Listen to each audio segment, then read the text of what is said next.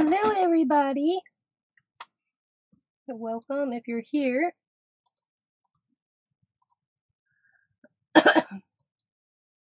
Hello. I don't think anybody's in here yet. oh,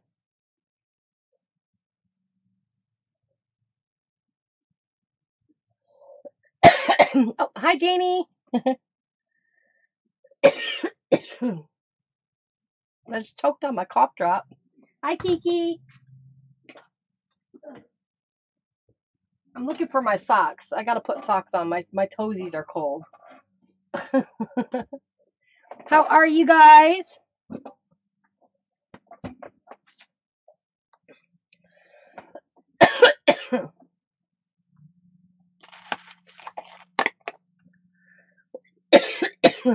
oh, I these cough cough drop cough drops.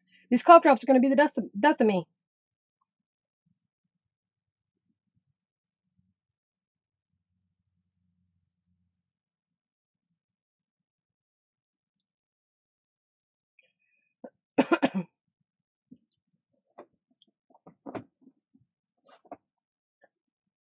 Keeping um little C in our thoughts and prayers today. She's going in. I think she said she had sur- has to have a something done today. Hopefully she doesn't have to have surgery. I think is what she was hoping.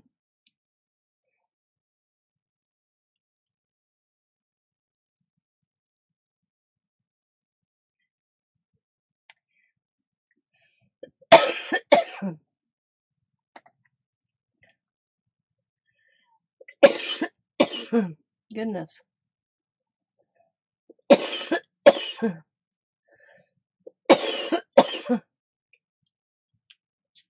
so we've had I'm still a little bit under the weather. Um we've had like 80 degrees the other day, 87 degrees. and it was nice yesterday. Kind of, and then we got thunderstorms. Well, today it's like 50 something degrees. Of course.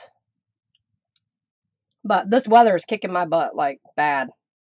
I start to feel better and then I it hits me again. But since I didn't go live last night because I was not feeling good last night, I got a sty in my eye. So it's been bugging me. And um Oh, that would be awesome, Jeannie. Hi Brenda. Um I uh, was gonna go live last night, but I I had a sty in my eye. Then I have that abscess under my left eye. And the sty's in the right eye. So yeah, it's just been a weekend.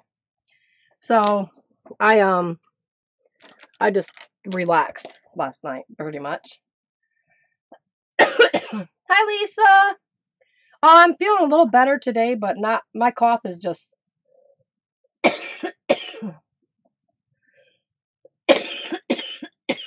it's not going away. I've been sucking off sucking on sucking off sucking on cough drops like nonstop, and I have to switch them up, otherwise they're not helping. But they don't help really, and I've taken cough syrup, and that's not helping. So I'm just winging it.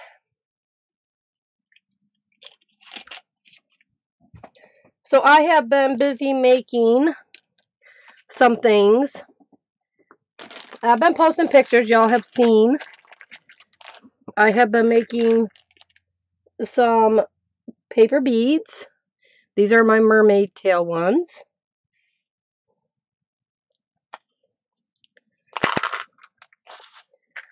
And I've also done all these here.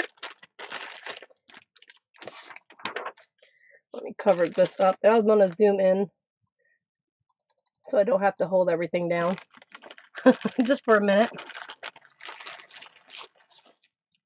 So I have made all these up also. These are my favorite. These are my watermelon ones. But I have, these ones are, these are made from painty papers. They're kind of like a galaxy color and they have an iridescent medium on them. So they're really kind of shiny. I don't know if autofocus is going to focus on them or not. We will see. Maybe. Oh, maybe. Come on. Come on. It might not focus on them. There we go. There. Uh, for a second it did. So I got those. And uh, these are made. I made these using my gelatos. These are made using my gelatos. Um, let's see. These two, these were made with my gelatos. Okay, that autofocus has got to go up. I do not like autofocus at all. And I got some newspaper ones that are made from a, uh, a newsprint wax paper, like deli paper. These, yeah, these were made from um, when I used my homemade sprays and such. I have leftover papers. You know what I sprayed on, like this one here. So that's what these are made from, is just drop papers from my sprays. And all these are made from painty papers right here. These I made myself. And then these are glitter, which glitter paper, uh, like cardstock, like patterned, you know, scrapbook paper. Some paper is thinner than some. So the thicker the, which I wanted to show you guys these. The thicker paper you use, the, the wider your bead's going to be. So you can see how thick these are compared to, say, let me, uh, these ones here. So these were made from my deli paper. You can see how small they are. That's used the same, I used the same tool to make them.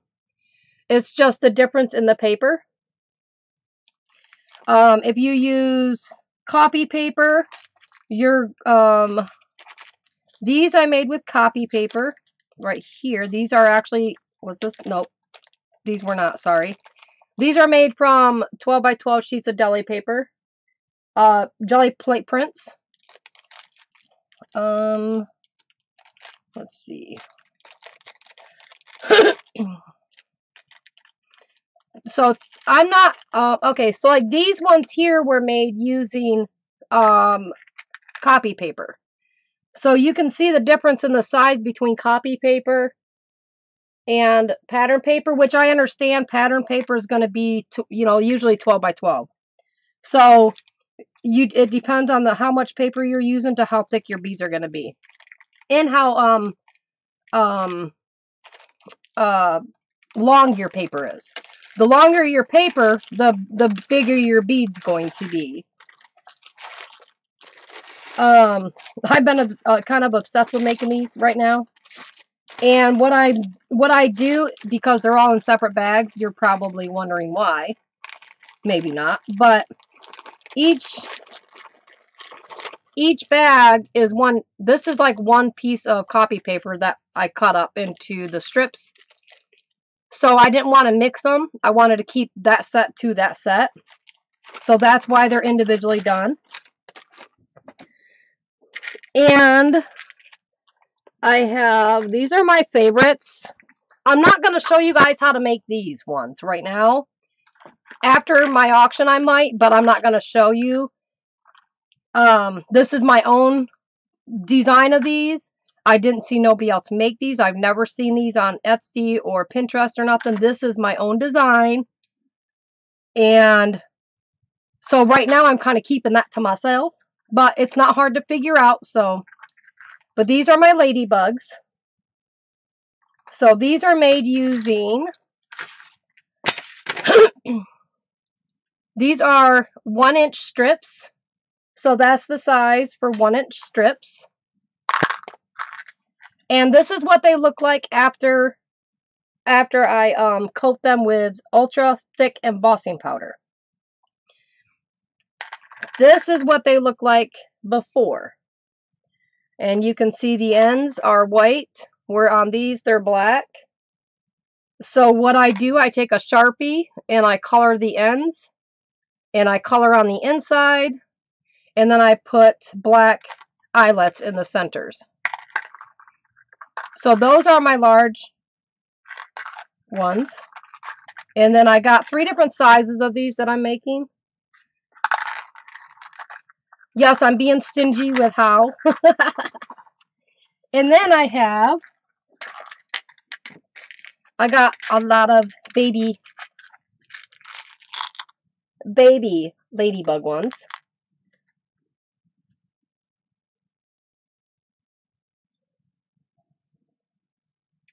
These take a little longer to make, but I'm obsessed with these so bad. And these are my watermelon. I call these melon balls. My mini melons. And Kiki actually said they look like melon balls. And I'll probably have to turn my focus on so you can see the seeds in them. So let me turn the autofocus on here, maybe. There we go. Come on.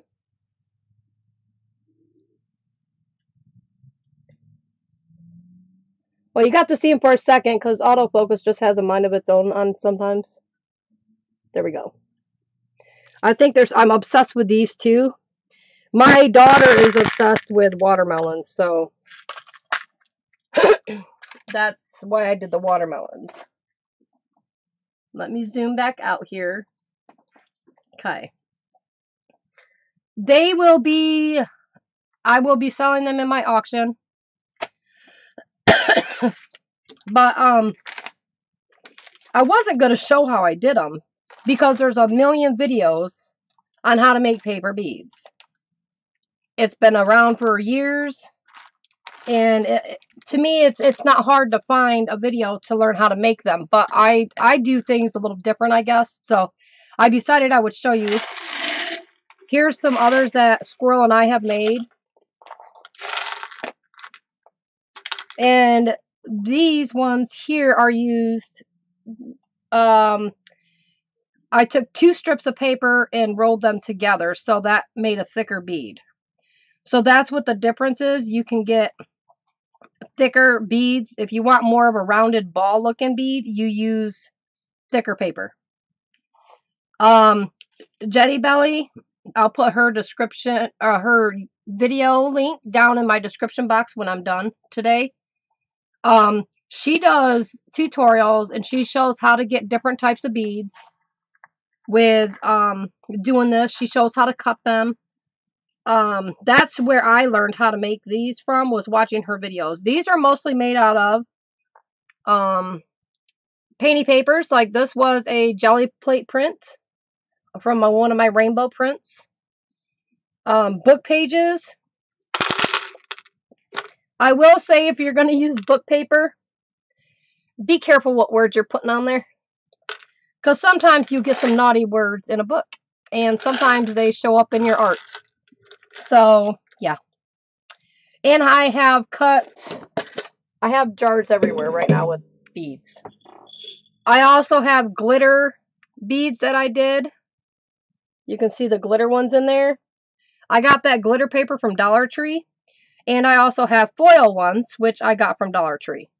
Like at Christmas time, they have that foil paper.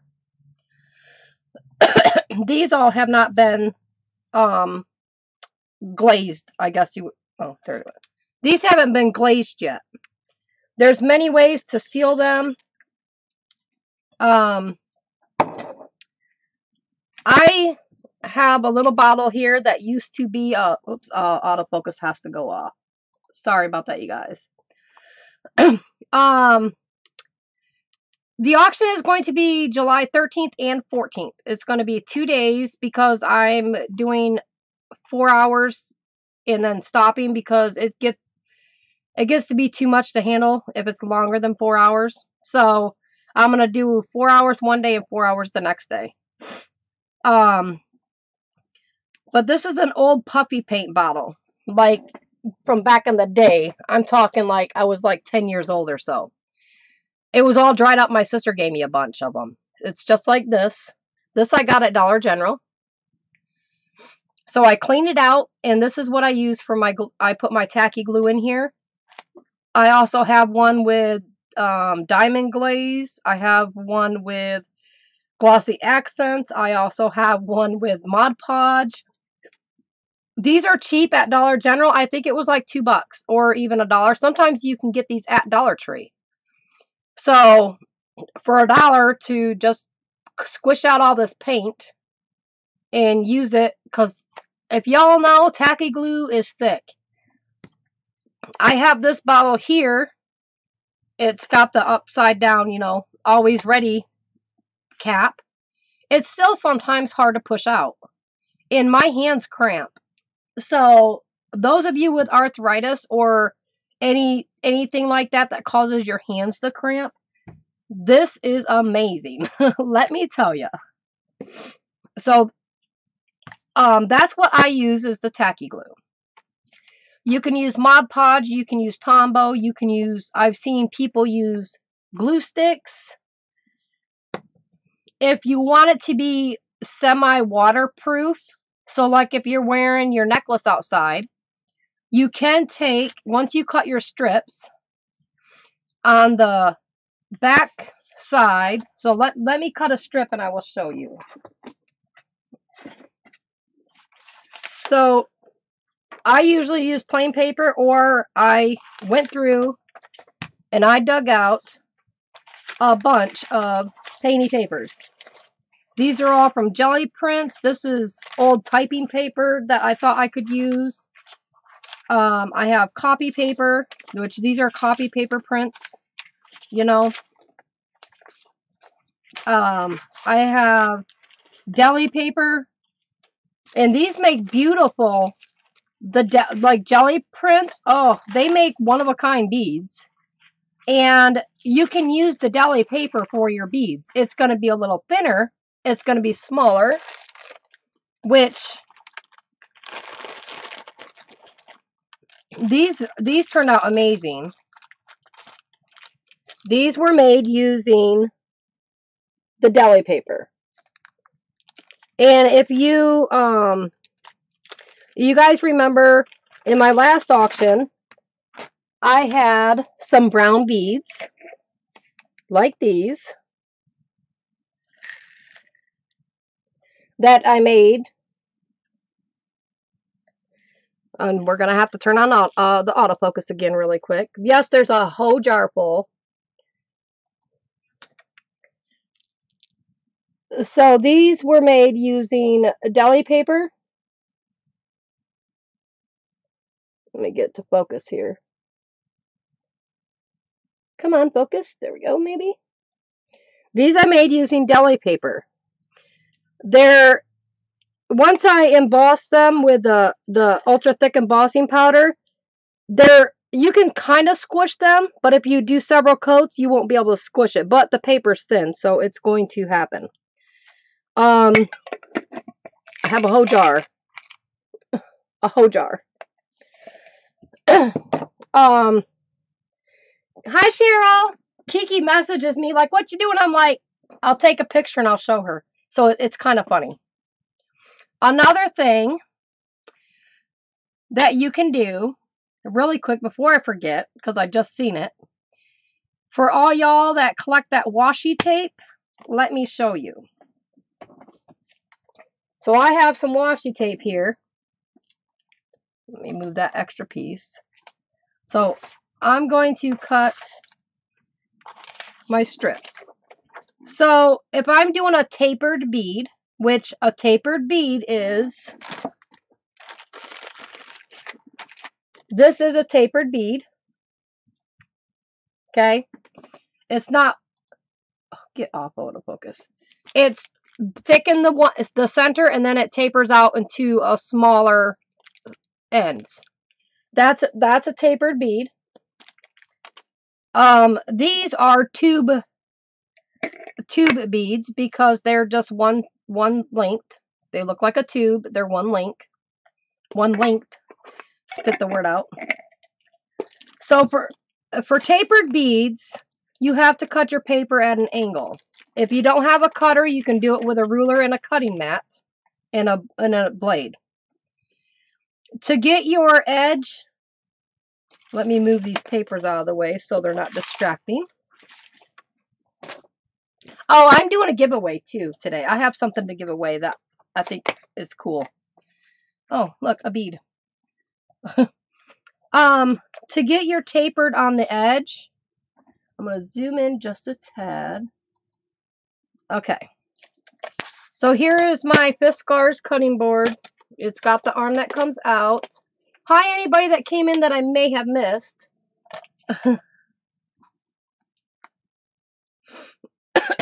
I'm not ignoring you, I promise. To get your tapered end, you have your paper up at the top. And let me move this out of my way. What you're going to do is you're going to angle your paper one either the top or the bottom, it don't matter. So I'm going to angle my the the top here so you guys can see that and then I will show you the rest of it. Let me zoom in here. All right. So here's where my cut line is right there. So I'm going to take the edge and I'm just going to slightly angle it.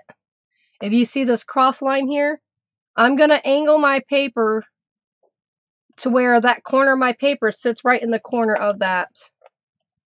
You guys can see here. I'm just going to angle my paper and set it there. Just like that. Okay. So now on the bottom, right here, do see if I can do this while holding this. You're going to slowly move your paper over to where your cut line is, and you're going to, um, oh, let me, I need my other hand. I need another hand. Okay. so here's my bottom.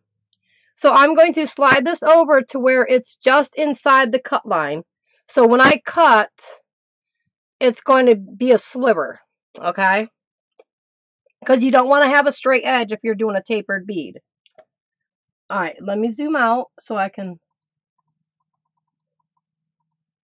Okay. Let me move my water bottles back here. There we go. All right. You always cut from the thick end, the wide end.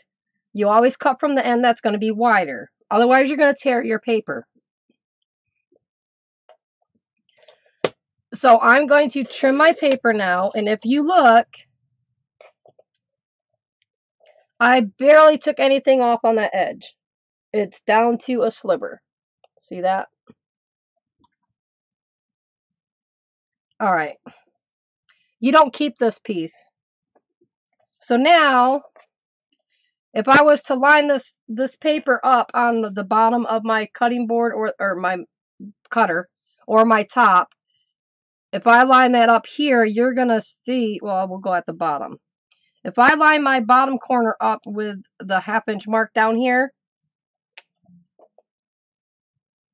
see I'm at the half inch mark here, and if you follow that line all the way up, you'll see that it tapers. And I don't match up there. That's what you want.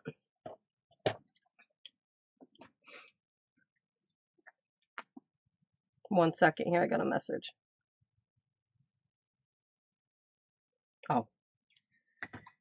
So then what you're going to do is, because this was my wide end, and this was my thin end, you're going to alternate between the two ends when you cut. So my, let's see, my wide end is now going to be where that little end was. So if I want my bead to be an inch long, I'm going to bring my edge of my paper over to the one inch mark. Let me see if I can zoom that in a little bit and move my, move, which way do I got to move my camera? There we go. Okay. So if I want this to be one inch, I'm going to move my paper trimmer over to this mark. And then I'm going, to, depending if you want a thin end or a long, a wider, you know, when you taper it, you can do it different ways. I like to go about an eighth of an inch just because I like to have a little bit left so I can glue it down. So I give it a little bit of a tail. Then from the wide end, you're going to cut your paper.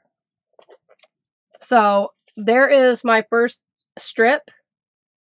And my tip is wider than, like, you can do any size. So if I was to do the other end, and I want a thinner side at that next, at the bottom, I'm just going to line my paper up to where it's just barely in the over the cutter line.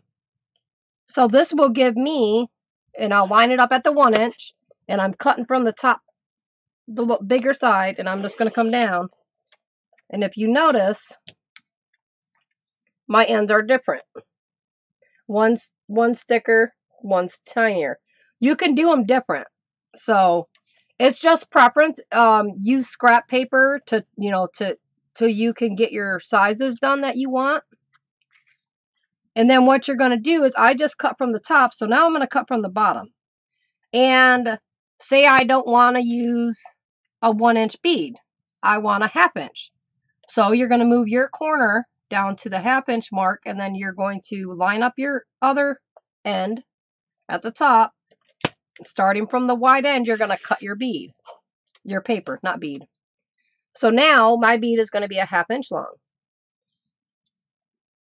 And I, I like doing it this way. I always leave my cutter blade at the top wherever I ended. So then that I know is where my wide end is going to be. So now my wide end's up here. And I'm going to do another half inch. And then slide this up here. This is when you need like multiple camera angles. and on my cutter, there's a little line, like, there's like a little spot here between the white and where my cutter goes. And I usually just line that up just just around that spot. And that's how I measure how wide I want my tips of my bead paper. So now I just cut from that side down to here. I'm leaving this here because that's the end I want to cut from. So I just open that up and move. And that's how you get your tapered beads. If you want a, a tubular bead, since this end is angled, we're going to come over to the straight edge here. This edge is straight. If, well, if the paper's straight, it's going to be straight. So say I want a one inch tubular bead. So I'm going to line it up with a one inch mark and I'm just going to cut my strip. And you can do three quarters inch. Uh, you can do a half inch. And you can even go smaller if you want to, like a quarter.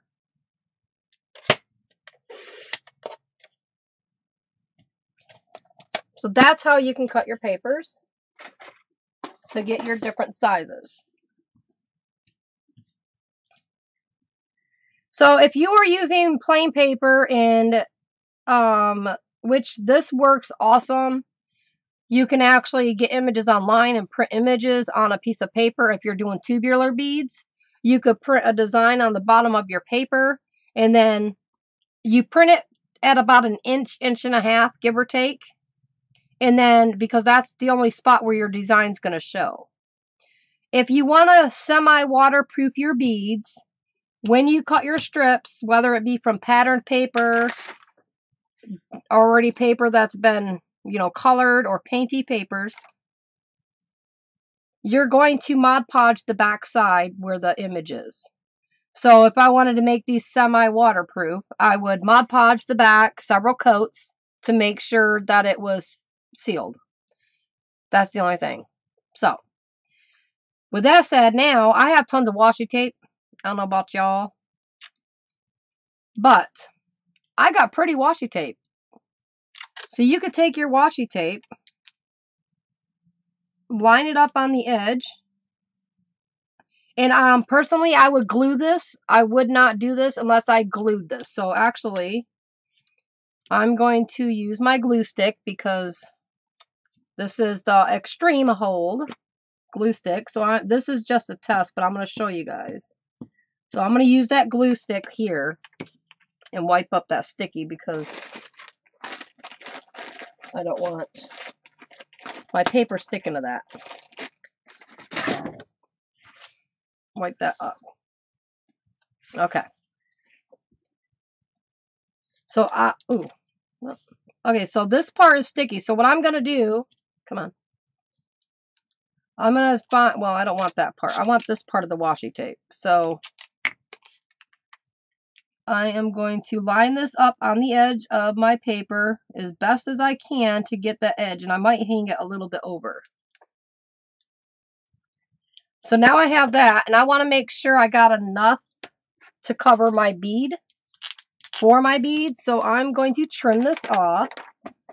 And that's easily done. You use your cutting board. I always tend to flip my paper over so I know where I'm cutting next to my paper. And you just trim it up the side. And you can trim it right off. So that's what I'm going to do here. And I'm going to line this up on this edge as best as I can. Missed it. as best as I can get it. You're going to want to line it up.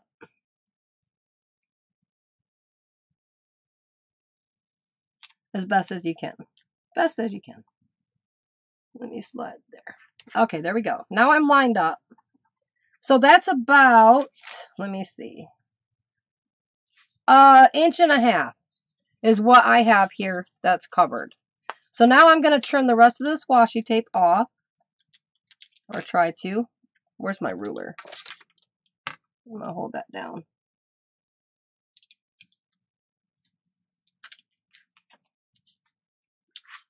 And then trim this. You could just, if you didn't want to save your washi tape,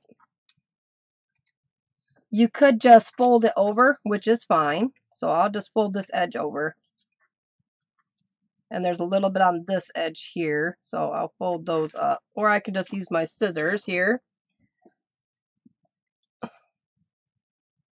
And trim that excess off is fine. It's it's your preference. Whatever you want to do, what's easiest for you. If you don't want to put a lot of time into it, then don't. So here's my bead paper. This is what I'm going to use to roll my bead. I have a bead rolling tool that I got. You can order them on Etsy or Amazon even. It This is a, I don't even know what size it is, but I think it's a 1 8 But I got a 5 pack, and there it was pretty cheap for the 5 pack. Uh, depending on who you get it from, there's several people selling them on Etsy. You can use a bead roller tool. Um, you can use knitting needles. You can use toothpicks. Um, you can use, if you have a paintbrush that, you know, has a long end but it's not tapered, you could use that. You could use a skewer. Uh, you can use a chopstick. Whatever works for you. Um, we started using toothpicks when we first started, and my hands cramped so bad. And then I went to a, a chopstick and a skewer. It's still, my hands kind of cramped. So I invested in these bead rolling tools. And what you do, uh, this is my preference. You do you, basic, like you do what you want to do. For me, my design is upside down. And this roller has a slot that you slide your paper into. There, you won't be able to see it much on here, but there's a slot in this, and that's where I slide my paper to. You can slide it all the way down. I like to keep it about here. Some people roll it this way towards them. It it's whatever however you feel comfortable doing it. For me, I like to go this way with it. So I roll away from me and I hold it like this in my hand. With these, you don't have to be so critical on when you roll it, whereas with the cylinder beads, you have to be a little more precise, and I'll show you that. So then you just roll it up. And some people like to glue as they go. I don't usually unless I'm keeping it pretty well tight up against the edge because sometimes they get wonky and I'll show you how to fix that. So we're just going to roll this all wonky like so I can show you and I'm just going to roll that up and sometimes they'll get loose on you and you just hold it tight and twist. So if you can see my ends tapered right here, we don't want that, but I'll show you how to fix it in a second. So as you can see, I'm getting down to this end. The only part I'm going to glue is about this far, a half an inch. So I'm going, I roll up to about there and I use tacky glue. You can use Mod Podge, whatever works for you. I'm going to poke the tip. Hi, Mary. Thank you for stopping in. Nice to see you. Hi, Mark. So I cover the edge all the way up to the tip as best as I can. It's hard to see. I'll show you in a second. But I put a little bit of a glue there. You can see all the glue right here. And then I tightly roll it over. And I have a baby white handy because the glue will peep out, or seep out, not peep out. So you just tightly, you want it to be adhered. So you just, I always just keep rolling it around a little bit. And then when this doesn't pop back up, I roll my hand around like this and pop it off. And if you look, there's a white edge. I don't want that. So what I do is I stick it on my surface and I just push it down. I flip it over, push it down, flip it over, push it down. And then I straighten out where my end is here. And make sure my bead is good. And you have your paper bead. Now, if you, whoops, I stuck that on the wrong spot. If you don't want white ends, and this was using washi tape, so um, you might have to use a really good glue to help keep the washi tape to stick to itself. So that's going to be whatever you choose. Once you get that step done, you're going to want to take, um, if I can find one here. Okay, I have a black Sharpie. Um, I'm going to want my end to be black. I just think that's best. So I'm just going to color around with my Sharpie here as best as I can. Whoops, and my finger just stuck in there here. I'll use a different marker here. Okay, this one's got a thinner tip, so I can get in the little area here.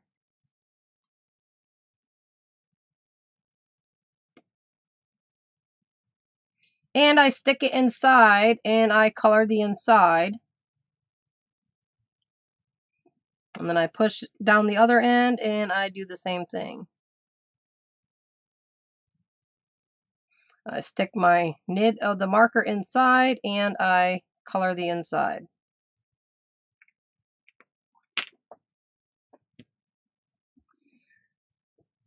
So there you have it. Hi Jude! Nice to see you. Hi to Dai Dai. Hope she's well. Thank you. Um, so now once I work it as an, um, I kind of do it like an assembly. I cut all my strips. I decorate my strips or use paint, you know, patterned paper. I color my ed edges all up. And then the next step is I emboss it. So usually I do quite a few beads at once. I'm, that's just how I do it. Oh, my eyeball. And you can also use fabric to do this. Um, because fabric is flimsy, you'll want to mix like water in Elmer's glue or Mod Podge and spread it around your fabric and let it dry and then you cut your fabric into the strips. So I have this knitting needle and I don't know the size. I think it's I think that's a 2 on it. So we're going to say size 2. and move my stuff around here so I don't spill nothing. Okay. You can use ultra thick embossing powder, clear, or you can use the fine, you know, the thinner stuff. It's up to you, whatever you want. And you need water Mark stamp pad. This is Versamark, works best. You can see it's well loved.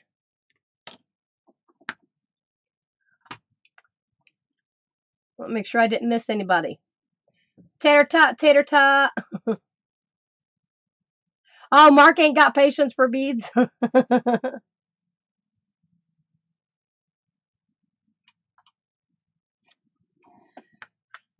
So this will help give them their shine. So I just take my knitting needle and I roll my bead around. I go from one end down to the other, back and forth to make sure I'm well coated. Depending on what marker you use to color your end, um, if it's a permanent marker, you don't have to worry about it bleeding onto your ink pad. So that's just whatever. You can also paint your edges with paint. Um, that's totally up to do up up to do. Yes, up to do. Up to you.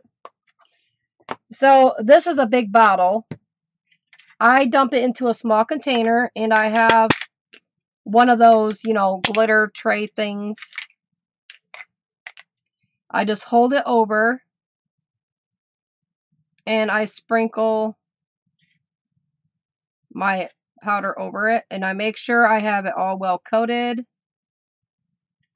and I have a paintbrush. Well, this is, yes, a paintbrush. But I tap off the extra and then I go to the edges and I brush away that loose embossing powder on the edges. Being careful as to not hit my bead.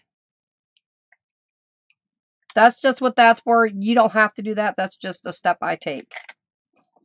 And we're going to move this out of the way.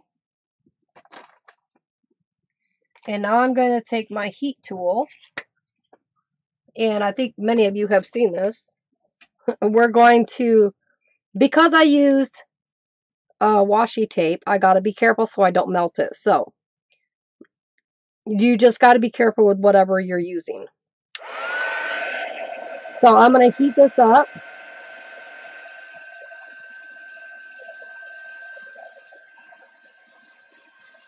and I just move my heating tool back and forth, not staying in one place too long.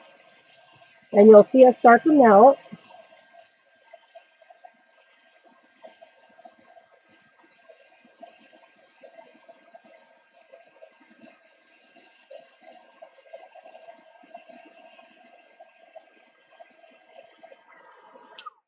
There we go.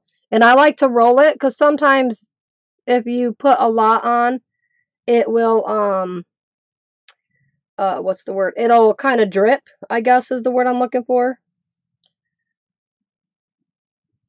But it's got a glossy, glassy, like, sheen to it now. And I just let it set there a minute. And then I decide if I want to do another coat of embossing powder. You can do several. That's totally up to you. So now I have a bead. This was done out of um, washi tape. So yeah, using yes, using the ultra thick embossing powder, there is a difference between that and the other embossing powder, and I can show you that. Let me grab, I will grab two of these beads here that I have not coated yet. Oh, well, all right, we'll do one of these. Okay. So this hasn't been done yet. Alright, so here is a bead I made out of a painty paper. It's not been coated.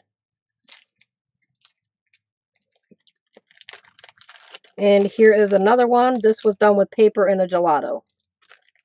Gelato uh, pen. You know, gelato. I don't know. Gelatos. Uh, you know, you guys know. so one of these we will do with this one we will use the ultra thick embossing powder.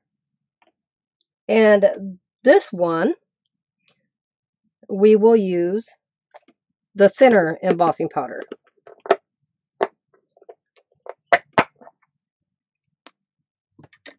Let me get, and you guys will be able to see the difference.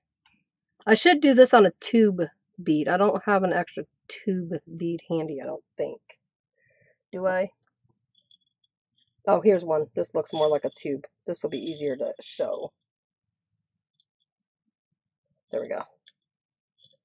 That'll work better.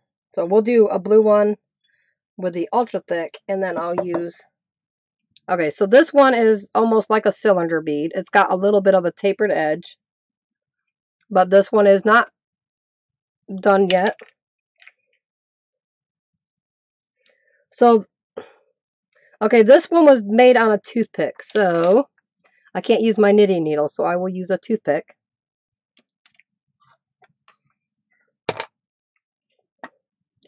So this one will be with the ultra thick. So let me roll that around on here. And I press it down, get it on my edges. The knitting needle will get gunky, but that's easily fixed. You stick it in some Goo Gone, let it set a second, pull it out, and you can wipe it right off. So, yes. All right, so that is for the ultra thick. So we will sprinkle my ultra thick powder on here. You'll be able to tell the difference. You, you can see the difference. We're going to tap that off, and I'm going to brush off this edge. If you happen to leave, well, actually, we'll just do that. We're just going to stick that back in there. Okay, I'm going to show you guys. I've got embossing powder on the tip of my knitting needle. Let me focus. Hopefully, it'll will focus. Okay, so I've got embossing powder on the edge of my needle there. So I'm just going to leave that, and I'm going to show you guys how to clean it. So that is the ultra thick. This one is the um, fine embossing powder, so we're going to use that one on this one. And again, you can either roll your, move your hand or move your pad. And just make sure you get it nice and coated. I kind of angle it to get up on the sides there to really get it coated. It's up to you, like,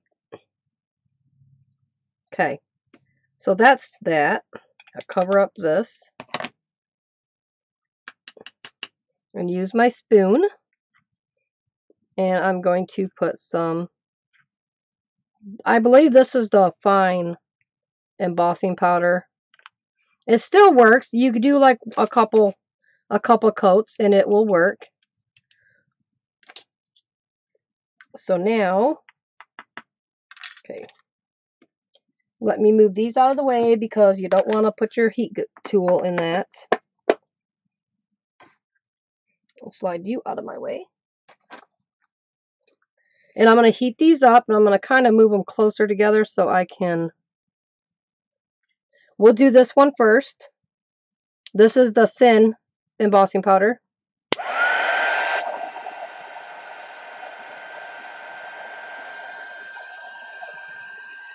And you'll be able to see it start changing.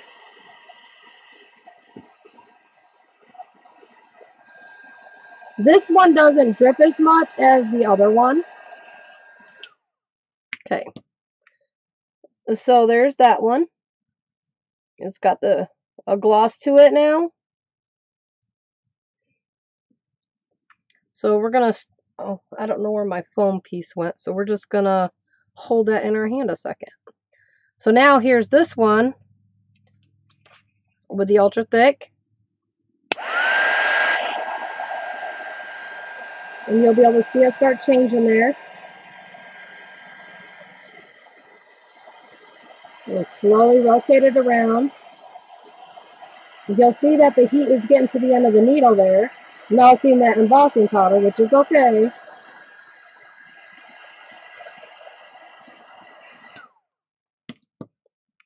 And you'll see, you can see a difference, like one looks a little glassier. Ooh, that's hot. You can see the difference. One's a little glossier than the other, but that's if I did two coats onto this one, I would get the same effect.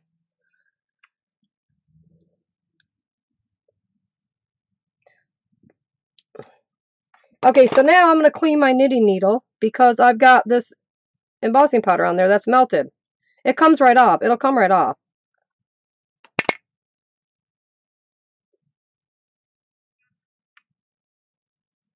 So you want to let it air dry for a couple seconds before you touch it because it will, you'll ruin it if you don't let it set long enough to dry. So if you look on my needle here, I've got embossing powder. it wipes right off. Hi, Shannon. Thanks for stopping in, Lisa.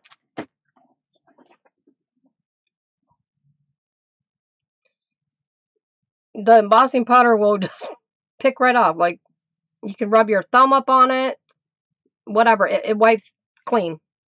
And if it and if it starts to get too sticky from the Versamark or whatever you're using, stick it in some Goo Gone for a second and wipe it, and it wipes right clean. It's clean.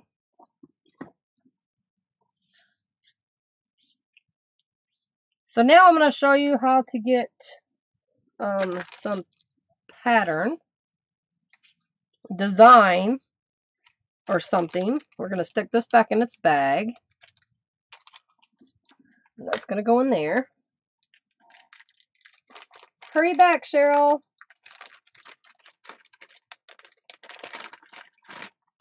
Okay. So on the tapered beads, let's move these others out of my way really quick here. On the tapered beads, if you use pattern paper, that, you know, scrapbook paper, it's already got a pattern on there, so you don't really have to be precise. With these, if you want your edges to be a specific color, then you're going to color your edges if you want the middle of your bead to be a certain color, you color that part. Um, you can make it rainbow. But because your beads are made, whoops, because you cut your beads and one end to the other end, let me find a paper here and show you. All right. So if these were laying on this, if I cut these out from this paper here, let's see here, put you over there. Nope, you down here. There we go. All right. If I was to use this paper here to cut my flowers, or shoot, not my flowers, my beads. I got flowers on the mind. All right. This is how these would have been cut from the paper. Wide end, short end. So wide end, short end, wide end, short end. Like it's zigzag. So when I rolled my beads, I'm going to have blue at one end and orange at the, the other. On my next one, orange is going to be at the bottom and blue is going to be down here. So it's going to be the opposite. If you're doing a tube one, it's going to have the same pattern across the bottom, regardless. Whereas with this, you're cutting from one end to the other, you're going to have an opposite. If that makes any sense, you'll have an opposite way of each one's going to be different. Like um, one end's going to be blue and one end's going to be orange. There's going to be a difference in it.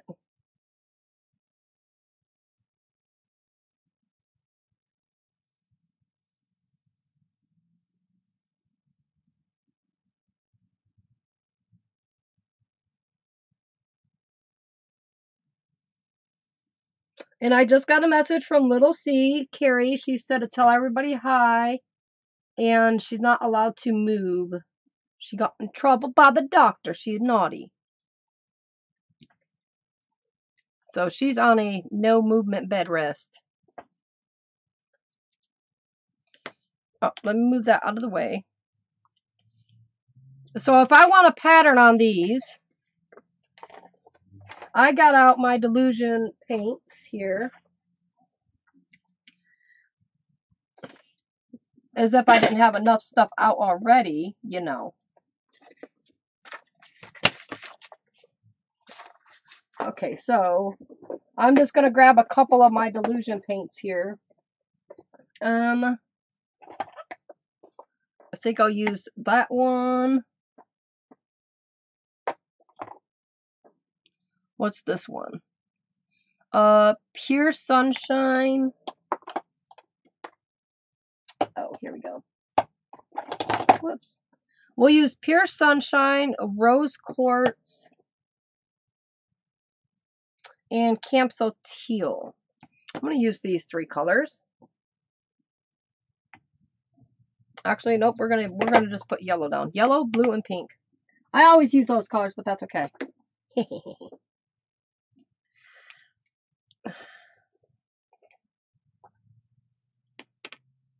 so, take my lids off here. It's so funny that um ouch. Some of these, well, that one has less paint because it was open when we like it was uh broken when we got it. Oh, I need to clean my lids off. They're a little tight.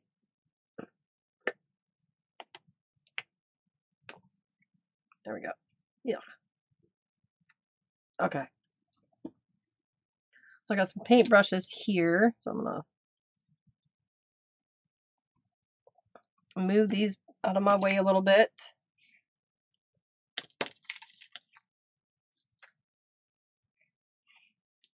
All right. So I'm just going to paint stripes on this. And I want my bees to be the same directional, like the same colors. So I'm just going to line these up like this. And I'm gonna gotta move this paintbrush because I'm not using that for this. So here's one, two, and three. All right, so I got three colors. Whoops. So I'm going to do that. I know I did too. Well, it's going to get messier. They're just we're just starting. So I'm I want my base. So the edge of my bead. Um, where's that blue one go? Oh, right here.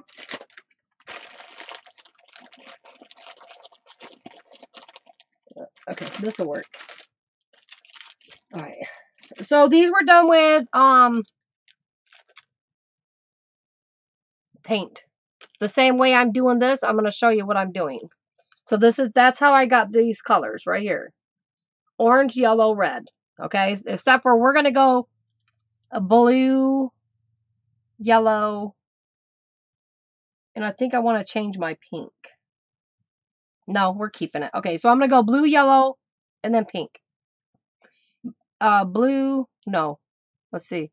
Blue, how do I want to do it? Blue, pink, yellow? Yeah, blue, pink, yellow. Yep, that's it. Blue, pink, and yellow. Okay. First, you got to figure out which way you're going to do it.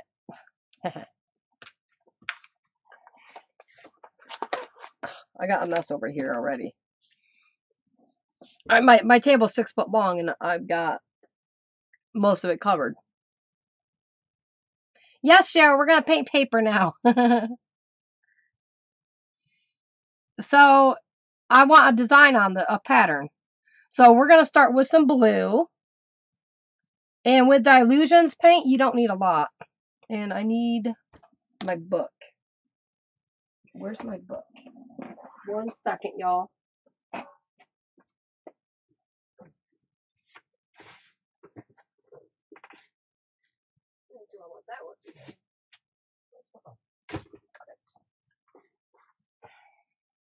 Okay. So I am going to lay these actually in my book here. And I'm going to paint them in this because I don't want to waste this paint.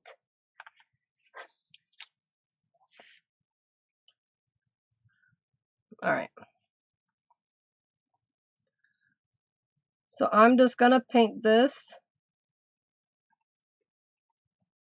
One thing with Dylusions paints versus the acrylic is it dries differently. Where like acrylic paint will kind of stick to itself if you have it on top of something. So now I'm going to use pink We're just going to take it off the lid there. And I'm it's okay if it gets into the blue.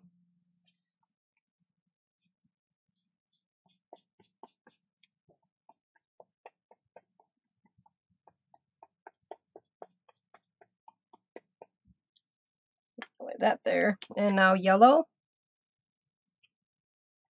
Gotta move my hand down. Which I'm okay if the yellow gets in with the pink. And then we're going to come back to the blue.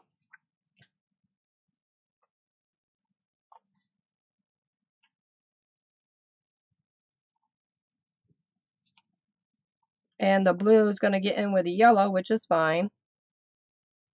It's going to make a greenish color.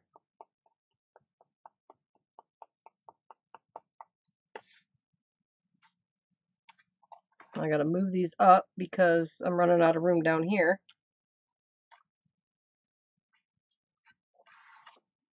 Okay.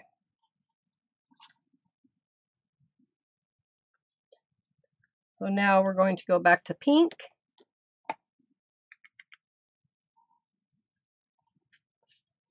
I kind of like them lined up so I have, so they're symmetrical with each other.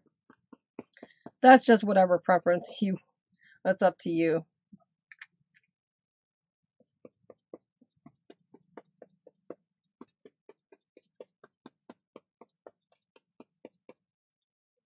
All right, and now we're going to end with yellow.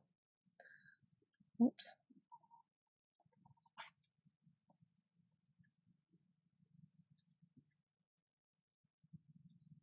Ah, no, don't stick to my finger. No. Well, it did. There we go.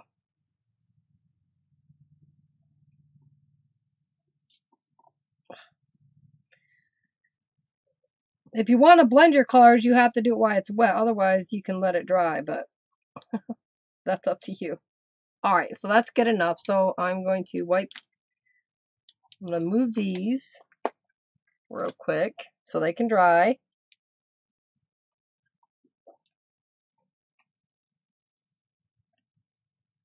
I'm going to let them air dry and this is cute. So I'm just going to wipe in my book here and get all this paint off that I can.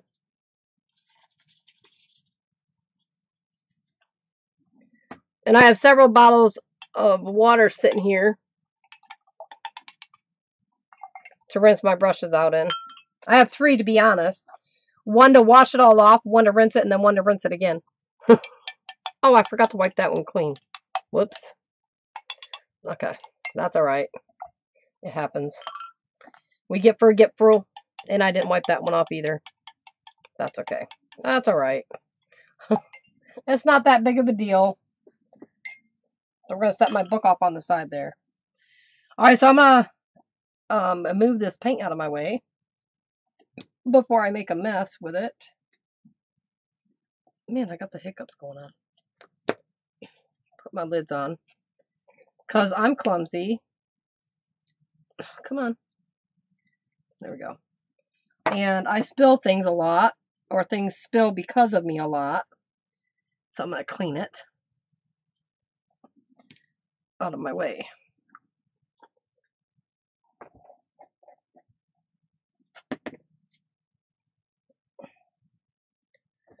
I'm, constantly wiping up my surface. It's like, I don't know why lately, but it's been really bad. And I lost my paper towel. Where'd my paper towel go?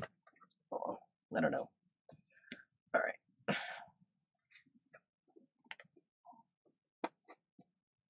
Okay.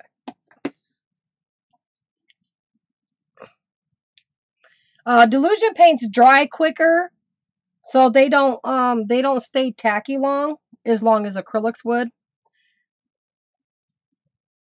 Um, we are too, Cheryl. I hope you stay safe, girl. We're I'm so over these storms. We had one come in last night.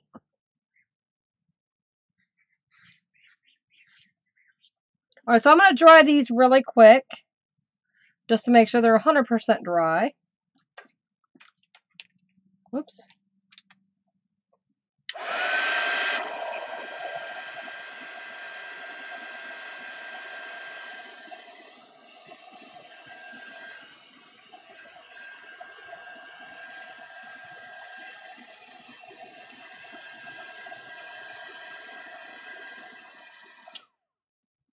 Okay.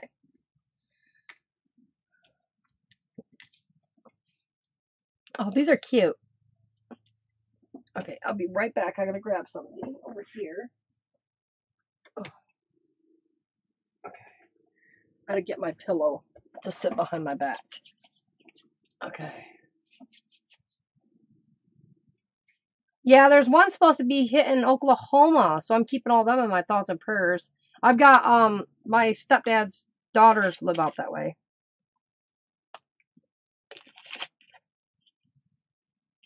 Oh goodness, Kiki. all right, so now if I wanted to decorate the the bead, um, it's harder to do on these because they the way they roll up. So if you want to decorate, I'll show you how to do that on this. We'll do that in a minute. So these ones are done. I am going to roll these. So when you roll a tapered bead, whatever's on the bottom is going to be your outside edge of your bead. The, the thick, the wide end. So this is blue. So if I was to take, um, say I wanted my edge to be black, okay? We're not going to do it that. Um, no, we'll, we'll do this one. Okay, say I wanted my edge to be purple. Because these are just a testing one, I will do it like this. I'll find a piece of paper here. Okay. Say I want my outside ends on my bead to be pur uh, purple, or whatever color you choose. You paint it, or you will um, use a marker. I'm going to use this marker here. So I'm going to want like a purple colored edge. So I'm just going to color the edge of this a little bit here. I'm just going to run my finger up it to blend it into the pink a little bit.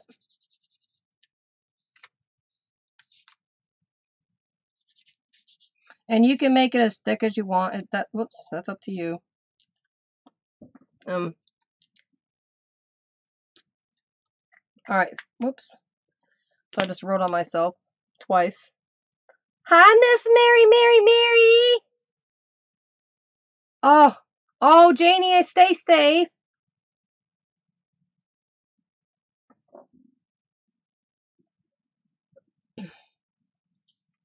All right, so what you're going to do, I wanted my ends to be purple, say on this one, okay? So once your marker's dried, you're going to roll it. When you roll these, there's it's your preference, whatever works for you. Some people hold it this way so they can watch the design to make sure, you know, the, the tapered's right. Because when you roll these, let me zoom in a little bit. Okay. When you roll these, you want your ends to be, you want to keep it centered. You want to keep this piece of paper centered. So as you roll, you're going to notice that you're going to lose that per like your your colors are going to be gone. Okay? So now I'm in the pink. So as I'm rolling, you're going to lose that you're going to change your color. Your color is going to be different as you go in. So if I was rolling it wonky, I don't have purple on this side. So you got to make sure when you do tapered ones, you keep it centered because it's hard to get it back where it needs to be. So now I'm going to the pink and I'm just carefully moving with my, my pinkies under here. And I'm just lightly moving it to make sure it's where it's got to be. And depending on how much paint you put down is how much that color will show. So as you can see here, I have very little pink on that edge, which is okay. And now I got yellow, so my yellow's slowly going away, and I'm getting that green colored. And now I'm going into that blue. And now the pink. And it's just going to keep going. Now I'm getting like an orange color from the yellow. And as you wind it, you're going to keep that centered, like in the center of that, that paper roll. And then I I take it and hold it tight and I put my thumb and finger like this and pinch it. And I make sure my glue's coming out of my bottle. Okay. There we go. I'm going to take, and I use a lot when I do this spot like this. I have a lot of glue on there. You don't have to do a lot. I do because as I roll it, it's going to squish out and it's going to help seal all the rest of this bead in. And I get it off my finger and I just rub it around that entire bead. Just like that. And let me turn my focus on again. I hate autofocus so bad. I wish it would just like focus and not worry about it.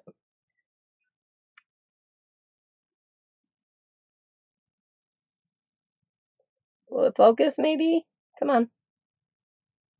it doesn't want to focus. There we go. Maybe. Just focus, maybe. But anyways, you guys can kind of see it. I don't know why it doesn't want to focus. I hate the focusing. It just looks blurry to me. Let's try it with that. There we go. Maybe.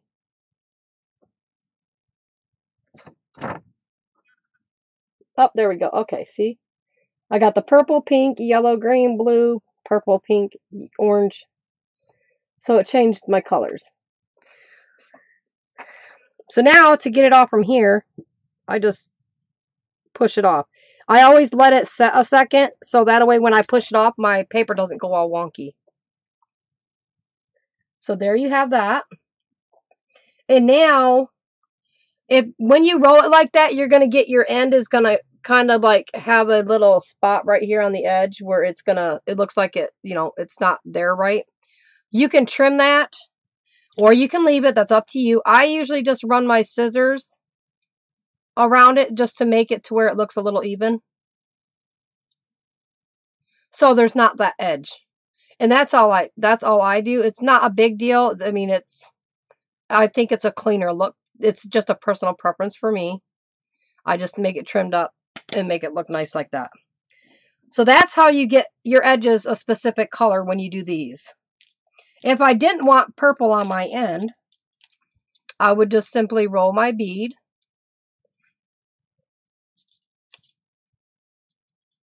And I will have blue on my ends.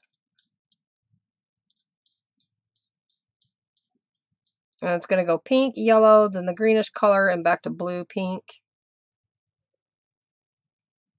And the thinner your strip down here, um, where'd the other, didn't I do three or did I just do, okay.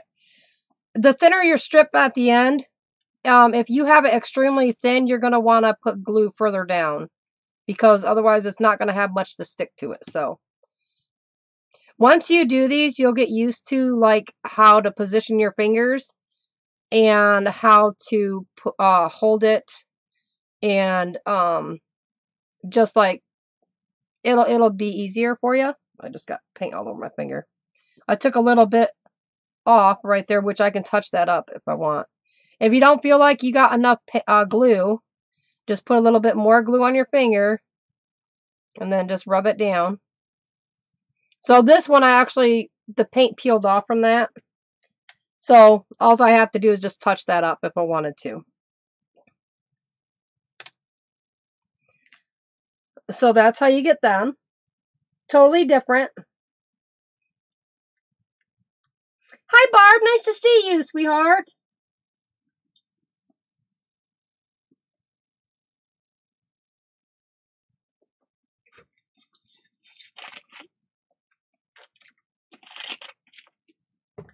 Everybody does their beads different. Um, I'm not an expert at making beads by no means. So if what I do doesn't work for you, you'll just have to find what works for you best. Now you can go small, like extremely tiny. Um, that's up to you. I, let me cut one that's super tiny and I will show you. I will I will cut one that's super tiny. So this is the end. Okay. So we're going to go at about a quarter of an inch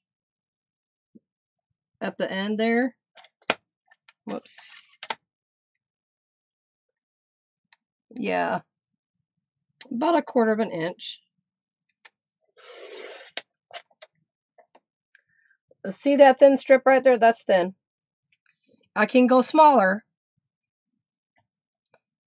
It's probably going to give me hell. So we're at about an eighth of an inch right here. Oh, whoops, this end first. All right.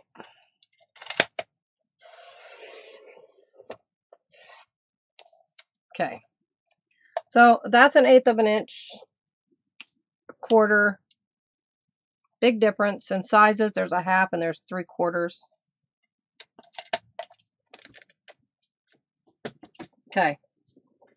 So, um, let me color this really quick.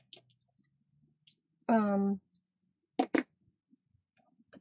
I'm just going to use this paint really quick here.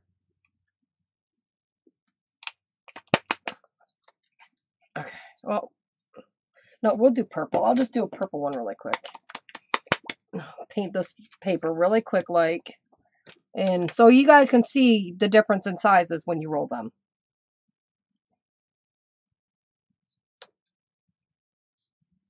All right, so I'm just going to paint this purple. I know people in here like purple. Mary Marlowe. Kiki's not too well. Kiki likes purple. I know Little C likes purple, and I think who else? There's quite a few people. I'm not really much into purple. Like I like it, it's okay, but like I'm a pink girl. I like pink. So I'm just gonna paint this really quick.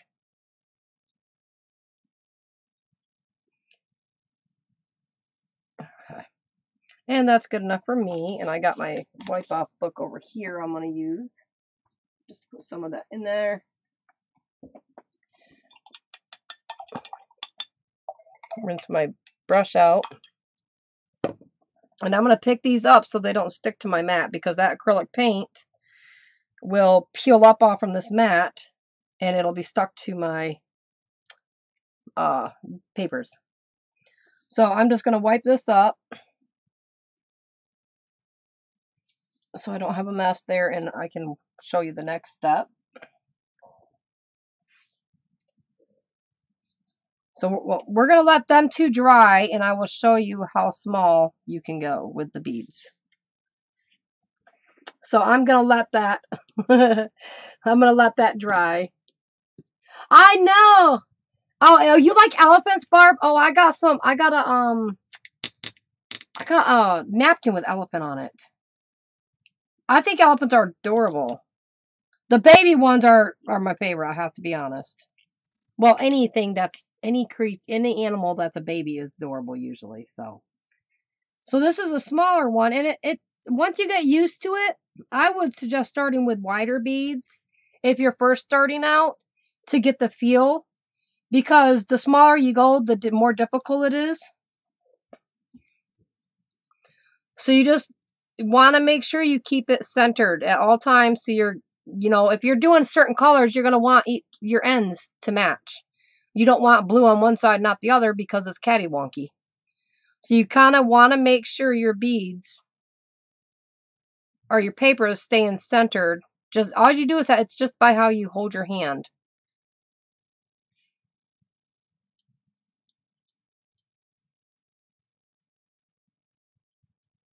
I just sit usually watch TV, watch a movie or videos or something when I make these. And I'm about, let's see, an inch and a half. And then I start adding my glue. Oh, why are you so stuck in there? I probably put, I think I put too much glue in here when I filled it the other day. All right, so now I'm going to roll it and you do want to be careful if you have thin, uh, the tips are thin because you can tear your paper. So you definitely want to do it with a gentle hand so you don't rip your paper. If you accidentally rip it, you can fix it as long as it's not too bad. I could rip one so I can show you. So if you look, look at the difference in sizes of these. See how this one here looks a little rounder. It's all just by how you cut your paper. And you can make it look rounder even. I will show you that in a second. So we're going to let that one dry. And we'll roll this one up. Oh, oh yeah, I forgot I was going to give something away. Pink and blue for you, Janie. Yeah, I'm I'm like I love pink. Like I used to hate it. Green used to be my favorite color. And then I just I like pink when I got older, pink just was my color. So you just want to like watch it as you're doing it. And if you want to make sure you're, if you want more of one color, you color more section of that color. So if I wanted more yellow in this or more pink, I would have done, I would have colored more versus what I did. And uh, trial and error just work on like different color combinations and things you can make some really pretty stuff. Um and like i said if you're doing tube beads the long skinny you know the one size beads you can print you can make your designs and print it out on paper. Um if you have an inkjet let me do this really quick and i will show you something or tell you anyways. If you have an inkjet printer and you want to use your image, but you're afraid your image is going to bleed, okay? You can use, oh, where, do I have it in here? Probably not. It's probably on the porch. Okay. You can get some acrylic spray. It's like a clear coat spray. You just lightly spray it just a light coat, let it dry, and your image is going to be fine. It will seal it to where it won't run. It's just a trick. All right, so now these are, these two are almost dried here. Oh, thank you, Mary. That means a lot. Um, these tools are they're not that expensive. And let me tell you, if you got arthritis, your hands cramp, I cannot recommend these enough. Like, it's it's ridiculous. These are awesome. I do have two other tools, and I can show you those at another time because they're on the other side of the craft room. And I'm blocked in by a box. So, yes, yep, and glitter. Um, I think, I don't know I don't know if the hairspray would hold it to keep the ink from smearing. I haven't tried that, but that's a good Highland. that's a good question. I'd like I would I could try that. I would I would have to see. Cuz that I don't know. So this is the quarter inch bead. This is going to be a quarter inch bead. See, you can see how small that is. So as before, you're just going to do your best. I have to wear my glasses when I do this. And look through the trifocal part um, you're just gonna slowly roll it as best as you can, keeping that little piece centered. And when I'm, sometimes when I do the tapered beads, I will occasionally drop a slight drop of glue down there just to help keep it in place. It's, it's not going to hurt it with the tapered bead. So like if you're worried that it's going to go wonky on you, you can just put a slight drop of glue in there and it will help keep it in check, basically. And because this is a thin bead, I'm actually going to uh, run a good amount up this.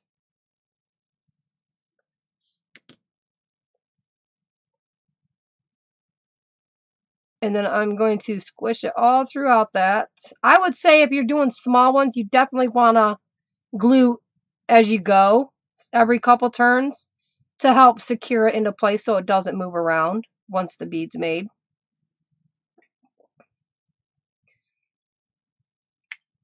So there you have it. A little bead. That's a little one. And you can go even smaller.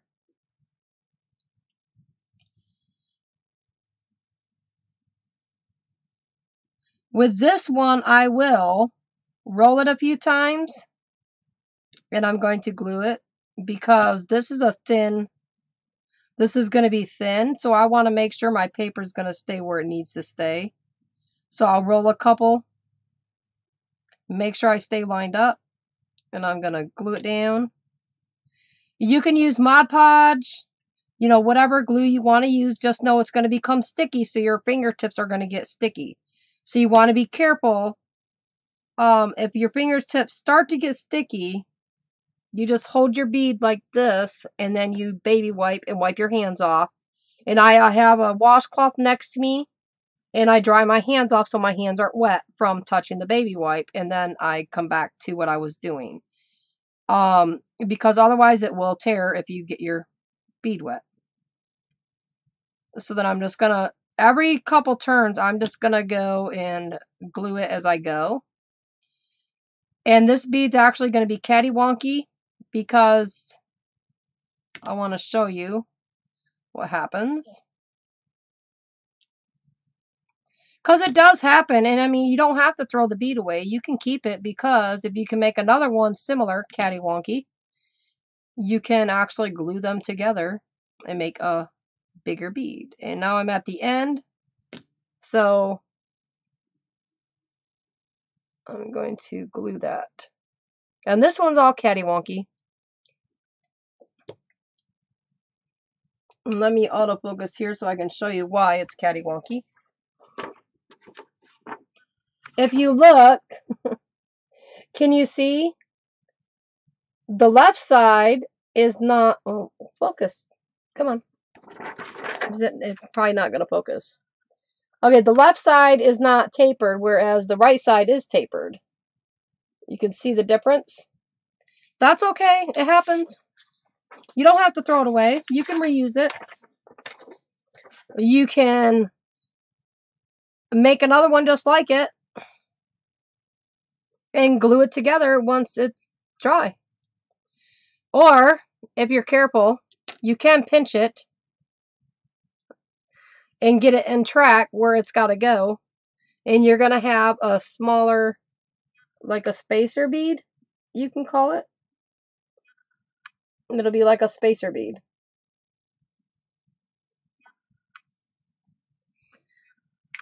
And yeah, there's several different designs of beads that you can do. It's just um, like shapes. Uh, a teardrop, I can show you how to do a teardrop bead. That's simple and they are cute. So there's those. So I instead of coloring these right now, I'm just going to use some of my scrap papers already made up. Um, oh, my back hurts. All right, we're going to use this one here. I want that like that. And I'm going to do a teardrop shape. So first I got to trim my edge. And how I trim my edge to where I get my tapered beads, I meet one corner up at the one corner at the quarter inch mark right here. Or, I mean, it's up to you. I always do the littlest one, so I go up to the corner of that one. And then I'll take my bottom. Let me line that up there so you guys can see that. Let me turn it this way. This might work. I'll probably have to zoom out just a little bit. Okay, that, now you can see it. So I'm going to line this end up here on the quarter inch, and there's that glare. And then this end I'm going to take, and I'm just going to slightly move it just past where my cut line is. Like, I'll, I'll get like a sliver of paper on that corner. You want it just, just a sliver of that. And you're going to cut from the wide end. So this is my wide end. That's going to be my little end. So I'm just going to hold it and cut it down. And you'll see it looks like a triangle. You know, it's tapered. Don't keep that. Well, you can keep it for scraps, but you're not going to be able to make bead. It won't be, a bead won't turn out right with that. So then what you're going to do is, the blue end was my, was it the blue end? Yeah. So because the littler, the thinner end was where I, let me turn it back this way so you guys can understand it. This was my skinny end. This was my wide end. So I'm going to move this over here. The wide end is now the blue side, and I'm going to move that at a inch mark. And then I'm going to move this one at just under the quarter inch one right there. And I'm just to, whoops. Sometimes your paper will move. I'm doing it from a different angle, so this is different for me. okay, so we're good. All right. I'm to cut that there. And now the next end I'm going to cut is this end because this is where my blade's at.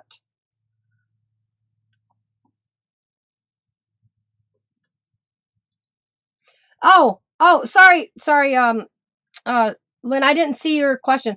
It is called a paper bead tool, a paper paper bead roller. Um, they're on Etsy.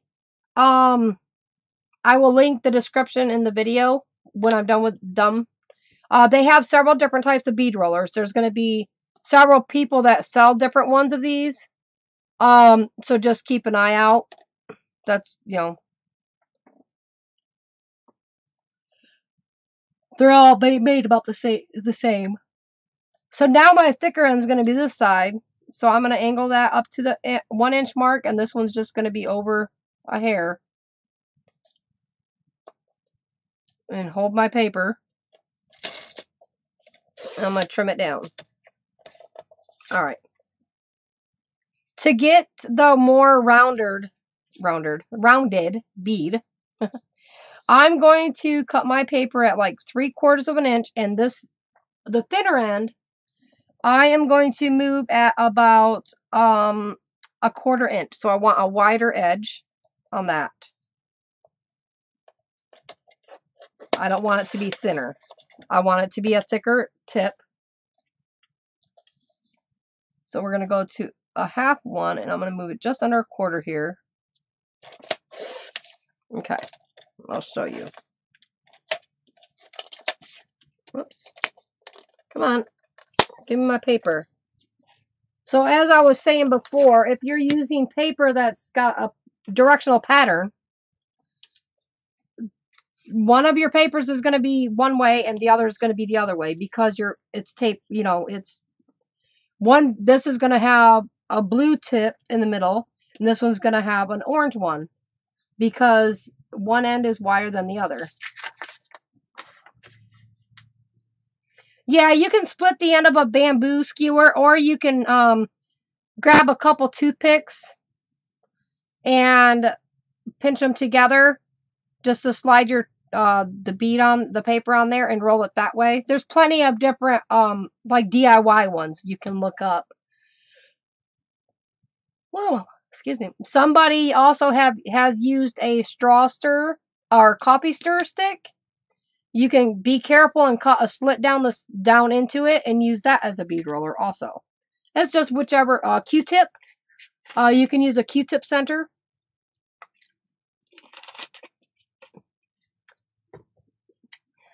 Hi, Chewy! Roar, roar, roar!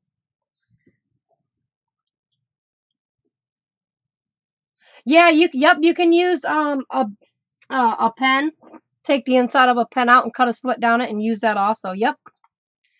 So these are going to give me different. Okay, first I'm going to show you how to make a teardrop bead. You're going to roll it almost the same, but not the same. So for a teardrop bead, you're going to roll it, but you're not going to worry about keeping it um, symmetrical. You're going to want one end to be wider than the other, so you're just going to roll it cockeyed.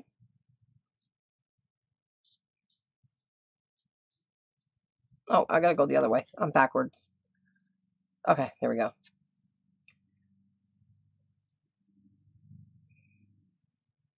Oh, I'll show you. Let me just roll it. There's videos on YouTube on how to make these. I'm, I'm probably not going to, I've only done a couple of them like this, so I'm probably not the best teacher on that one. but basically, you're, you, you want to pull it out a little bit. Come on. Okay. It's going to look like a teardrop. It's fatter at one end and littler at the other. I call it like a candy corn. I think it looks like a candy corn like this. But that's how you would get like um, a teardrop one. There's different videos on how to do it. I haven't really messed with those, so I don't really know.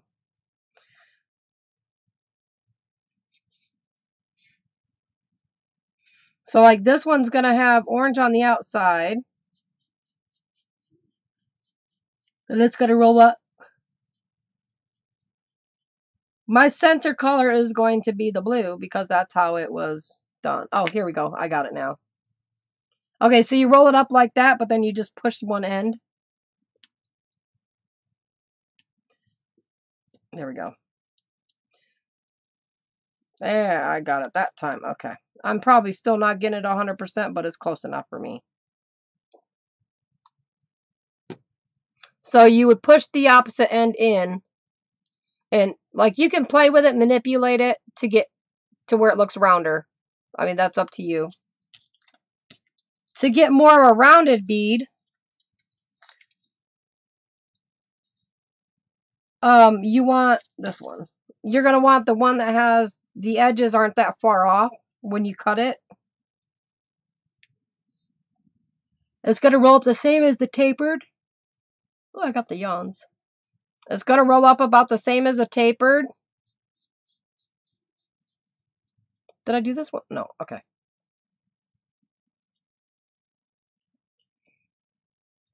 The only difference is, is your edges are not going to be as long as the other. Whoops. Pull it off. I didn't get quite enough glue on there, and that does happen, so you just want to take it off. Or, you know, you just want to make sure you get enough glue on there. So if you look at the difference between those two because of the way I cut it. Bye, Mary. Thanks for stopping by. Have a good afternoon.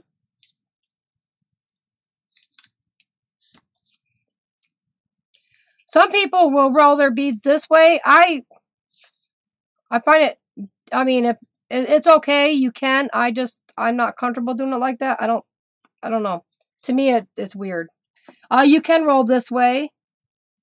Also, I got a paper cut. That is not cool. Um but for me I just find it easier for me to roll it like this. I I to me I feel like I have more control on the way the paper's going.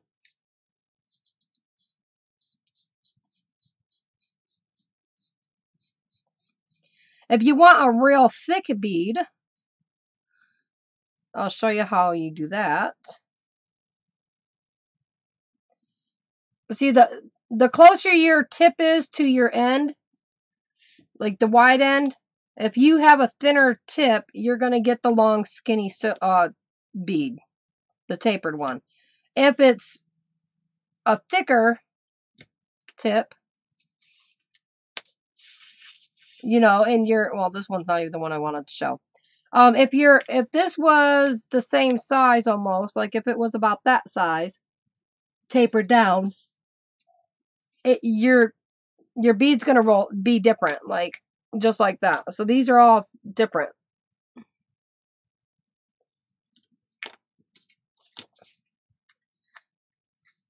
It's just, it just goes on how you, how you cut your strip. And let me roll this one up and I will show you how to do two papers.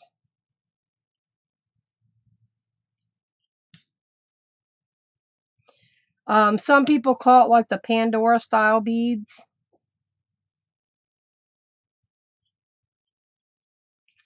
It doesn't take long once you get the hang of it. It doesn't take that long. All right, now let me move that out of the way.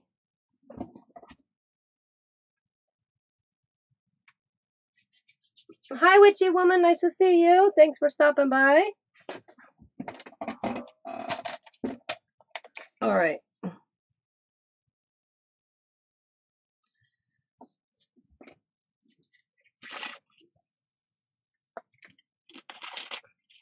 You've been in one of my lives before. I'm pretty sure, I think, a couple weeks ago, maybe.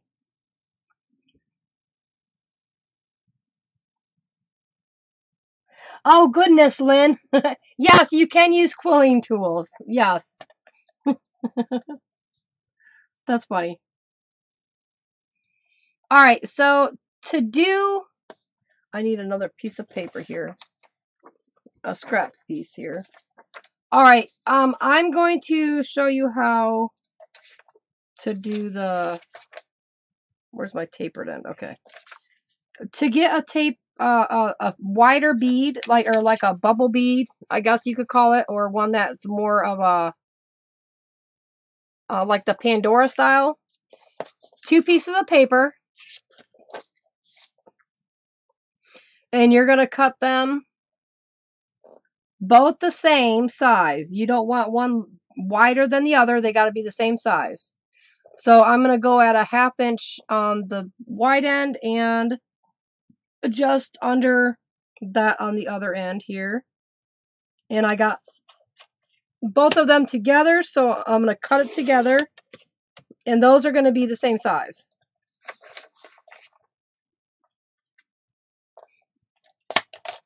So what I'm going to do is I'm going to be rolling these together. So I am going to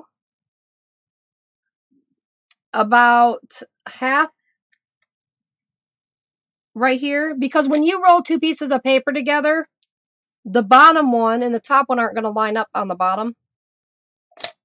So your bottom paper, you want to be higher than the other. And you can tape it or you can glue it. You just want it to hold still, basically. So I'm going to do, I guess that's about a half an inch. Yes. It's about a half an inch down. Just over a half inch. I'm going to glue it.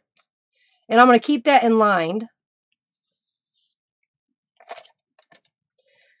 And you don't want to glue your, oh, did I, oh, whew, I thought I just dropped something. um, you don't want to glue it all down at once because your paper, when you roll paper, it's going to line up different. You're going to get bubble in there. So just glue a little bit of that end. So it's going to, it'll, it'll open up, you know, it's not all glued. And you're going to slide that bottom piece of that one in and you're going to start rolling. And as you roll, Oh, see, that edge, I didn't get that glued down, so let me glue that. I didn't get it close enough to the edge there. All right. And as you roll, you want to keep those two pieces of paper together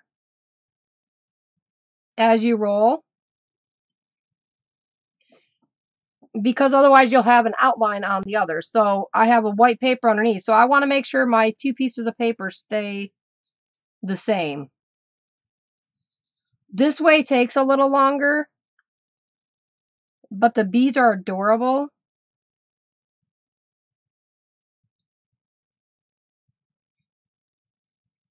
It, I mean, it's just, it's, it, it's tricky holding it to get it to where it lines up right.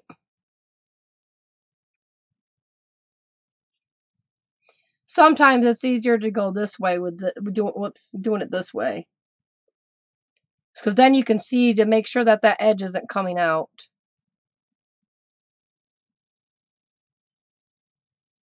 And if you remember, it when I started, I had just over a half inch of the white sticking up. If you look here, I have about a quarter of an inch of it. See how well it almost completely went to the edge? That's what you want.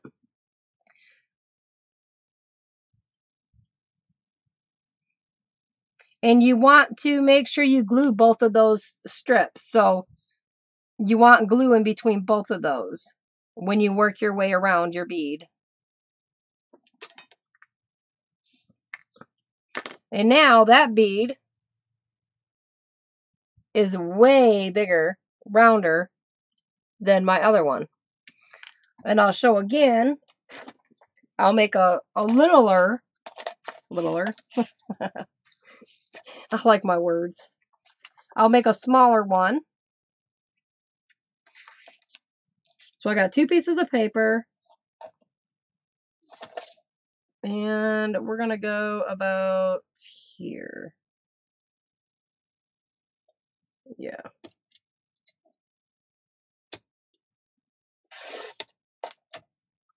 It's not much of a tapered, but it's tapered.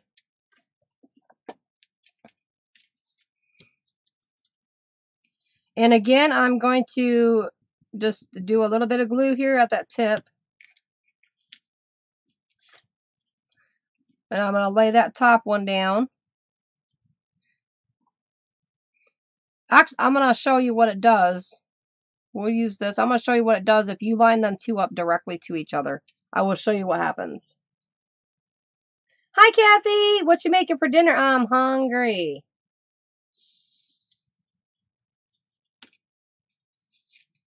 So with this one,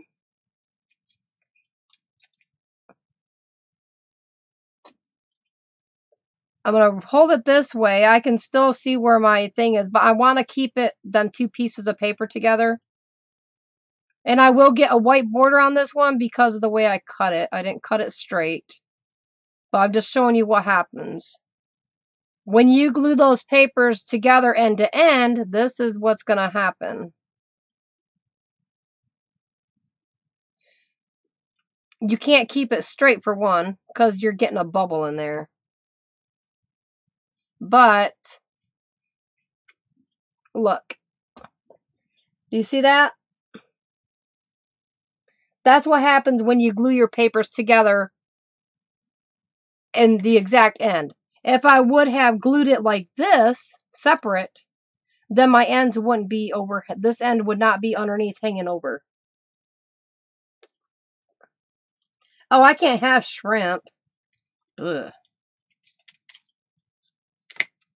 Okay, so by me gluing it at the end, when I rolled this, my paper stuck out. The underside paper stuck out. And when you're doing two sheets, always use scrap paper underneath the one you're using because you ain't going to see what's on there anyways. So, let's do this again. I pulled that apart and now I'm going to move that down. I'm going to glue this back down if I can. It's all wonky now. Did I get, oh yeah, oh, my glue's there. So I'm going to pull that down now.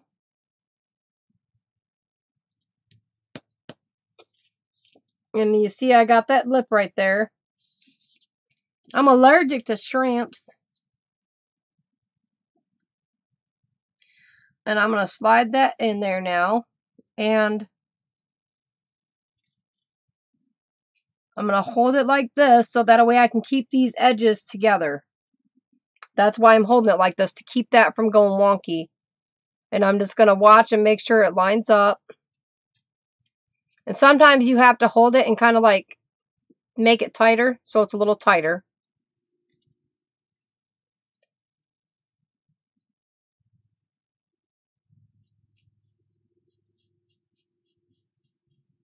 And you can do three sheets of paper like this. I mean, it's... Now, if you look, I don't have no white sticking out. See that? That bottom piece is not sticking out. You can see it right here. Because I glued it down from where that start was.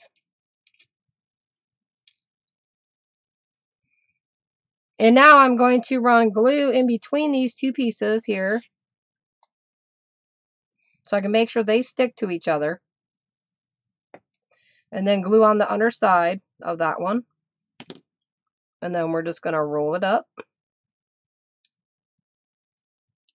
Just like that. And, oh, if you if you tighten it too tight, you're going to have hell trying to get it off. So then we have a little chunky one again.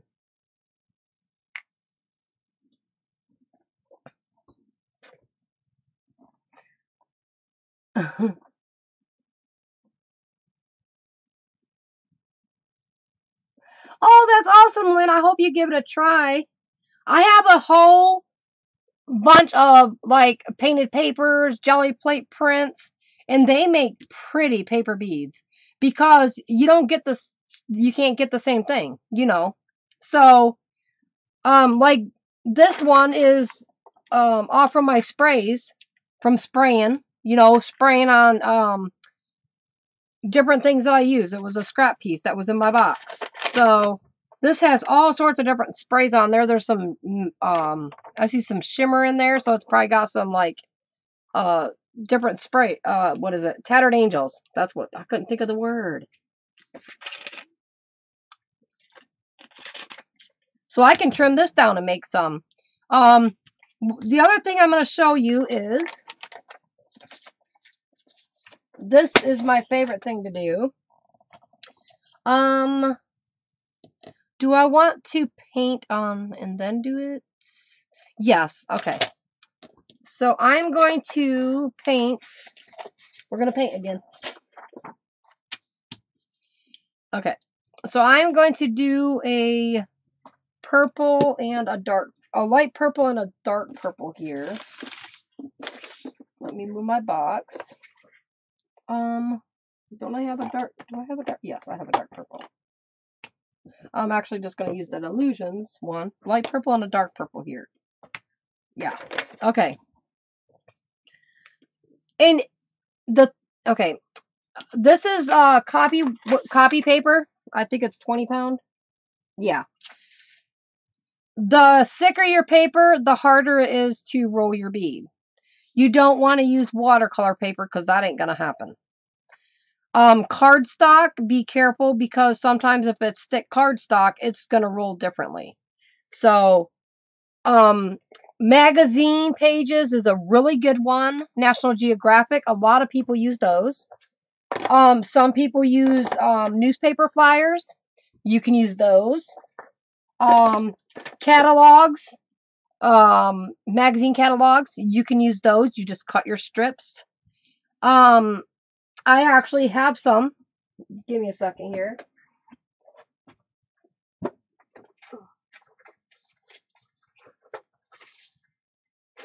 Okay. Come on, one more. Over here. Okay. These are actually posters. You know, like um, a poster hanging up on a in a building or something. These are advertisement posters that are cut into the strips. And you can see how little that is. Like, look how little that is. Okay? And these are long. so let me show you really quick on this. I lost, oh, here it is. I'm going to show you on this one. Oh, get it, get it going the right way here. This is going to make a different type of bead also. Like, it's because it's so long.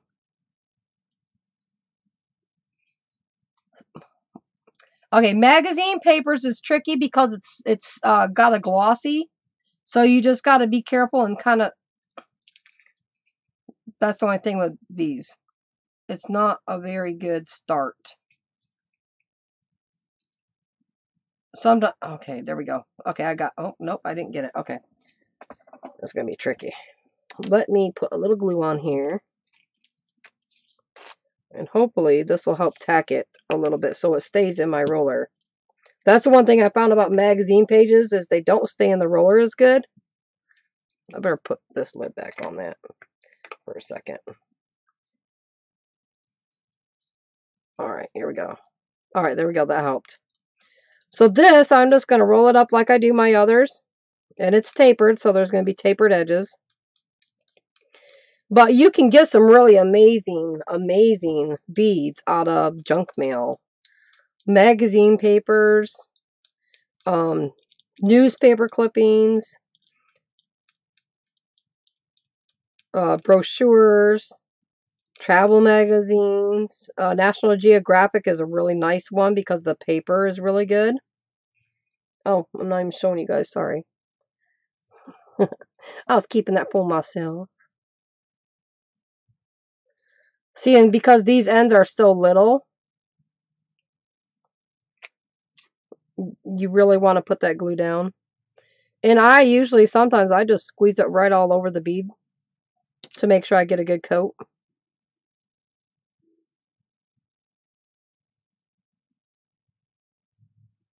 And if your bead does, if the tip of your paper does not want to stick, like right here, it's coming back up, I'm just going to add some more glue right on that tip and then spread it down. And your glue's going to dry.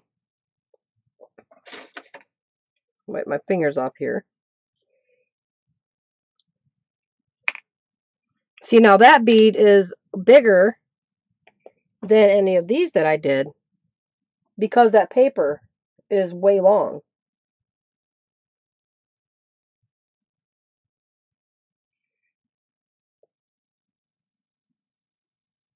Yes, you can use book pages and music papers.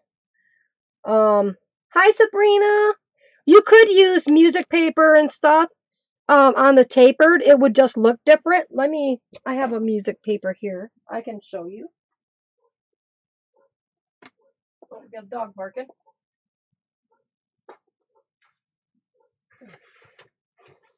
Oh, where's my, there. Come on, up you go.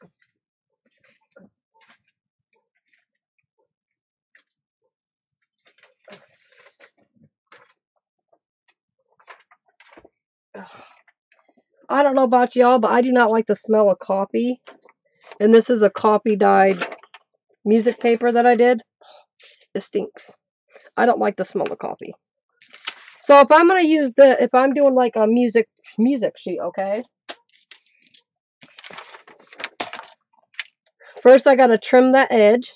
So I want to trim this edge down to where it needs to be. Let me move this so you guys can see. So I'm just a little bit off just to give it that angle. And you just, just a hair on this edge. Just a hair. You don't want to shave it 100%. Like, you don't want it to like, um, how do I, how do I explain it? Um, you want very little on that edge. You don't want a, a big wide piece, but you want uh, just enough to say that you trimmed that edge. You see that? That's just a little bit. So then I'm not going to keep this because that's scrap and it stinks like coffee. Now, this paper is actually longer than my other paper. So since this was the short end, I'm going to now make that, that's going to be my wide end. So I actually should trim off a little more so I get more of the music note. So we're going to trim this again. And I'm just barely going to that edge. Let's see right there. All right, because I want more of the music in there than the end of the page. So we're going to trim that piece off now. All right. So I'm going to make a half inch. No, we're going to go with a one inch. I'll do a one inch and then a half inch. So just barely at the edge there. So here's one music. And we're going to slide over to three quarters.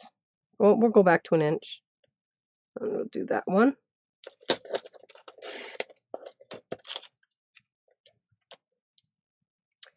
And you just keep going one rock one end to the other. Just rock one end to the other. I always leave my blade at the end I start from. Like I ended here, so that's going to stay there because that's where my wide end's going to be. So I'm going to tilt that one up. And this one's going to be the shorter end. Because you don't want to cut from the little end, the skinny end. You're going to rip your paper if you do. Alright, so we're done with that. I will show you real quick how the music paper looks.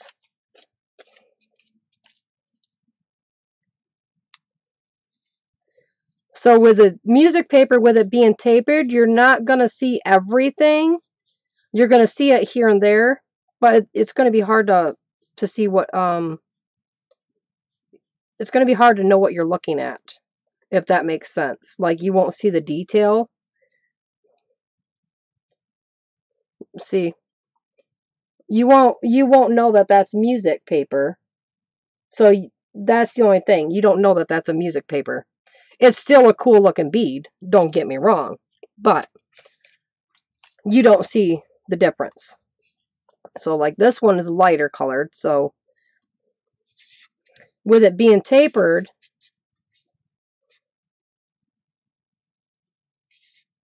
you don't see the music print on the outsides on the tapered part. It could still be a really cool bead. And if you cut it right, like if I cut that right there, you could have a music note right there. Hi, Mary, Mary. I hope you're okay and feeling good today. So now if I wanted to do a tube bead with the music paper, because a tube bead is long, let me trim this edge off here. Make sure I'm flat here. There we go. And I'm going to keep that because that is going to be some cool to add to something. So I'm going to do, go ahead and do like a one inch music. We'll do another one here. And yeah.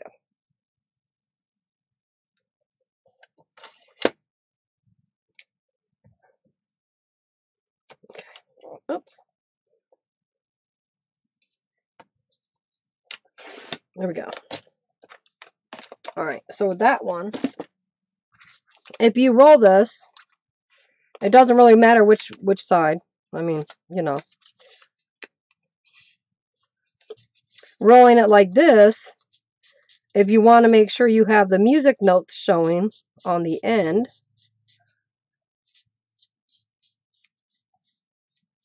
then you want it to end on the music note part. Like, um, I wouldn't say there on this one, I would say here. So I'm actually going to cut this right about here. And I will show you why. All right. Before I glue it, I'm going to flatten my edge. So I just pull it off and I'm going to flatten that down, making sure all my ends are pushed in and I got a nice smooth edge on there. And now I'm going to glue that. And that's about a half inch, just over half inch is all I left to glue. And I'm going to roll it around. And I usually roll it around a couple times, you know, once or twice to make sure that edges are glued down on there. And then I run it through my fingers and go like this, make sure my edges are nice. And there's your music, music note bead.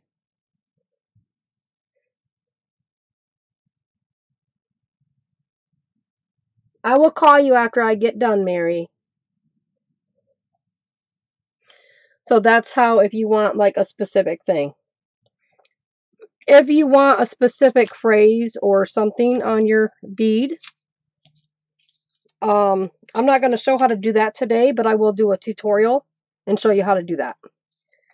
So right now, I'm going to show you a different thing that I like to do. And we're going to paint this. Only, only part of this is going to be painted. So let me grab a couple paintbrushes here. Because I cut my paper lengthwise, I'm only going to paint, I'm going to paint um part of this, not all of it, because most of this is going to be covered. So I'm just going to paint a little bit of this.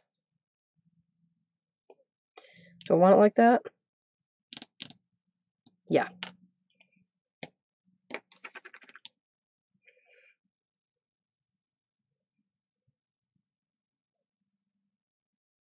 And remember, you don't have to go only but maybe an inch, inch and a half, because that's all you um, need for the edge.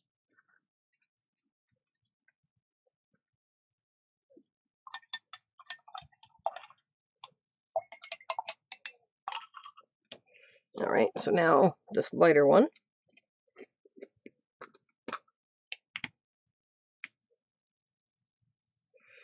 And get a little more. There we go.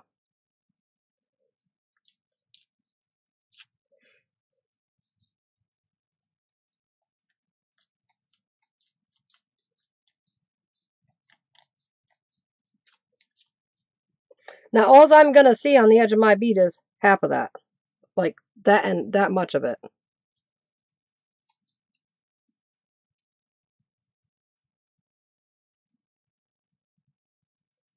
Okay. So let me take care of these. I'm going to let that dry a second. I have to use the little lady room.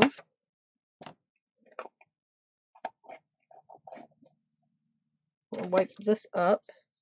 I lost my baby wipes. Oh. I don't know how I, oh, there they are. See, I don't know how I always lose my baby wipes, but I do. I'm going to end up knocking over my embossing powder if I don't be careful.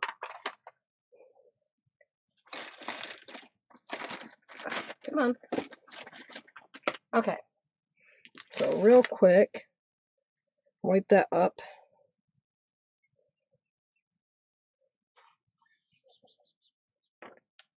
and put it up on the side. When I come back from the little ladies room, I will show you what the giveaway is. And then we will do that after my next, after I show you how to do this next one here. So we're going to let this dry a second. I'm going to use the little lady room. And then I'll show you what we're going to do next. So I will be right back. Hi, Miss Nancy. I will be right back.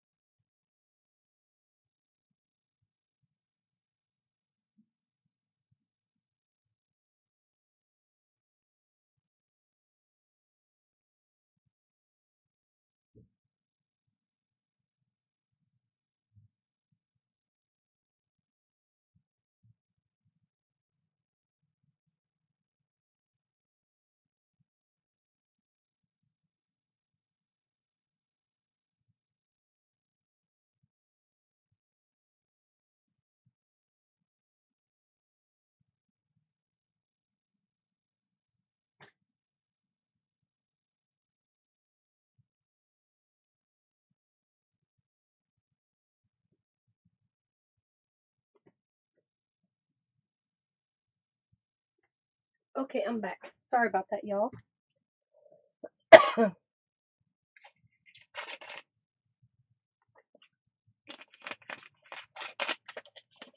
okay. It should be almost dried. Let me use the heat tool really quick.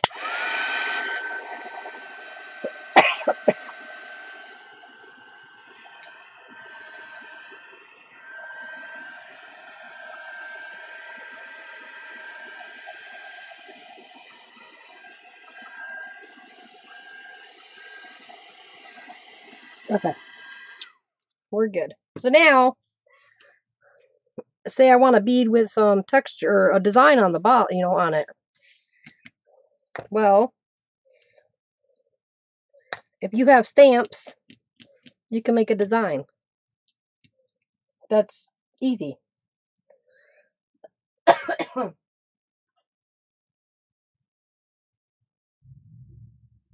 So I have a text message. I have these flower stamps. They're like mandalas. I think I said that right. So you're going to use some black ink.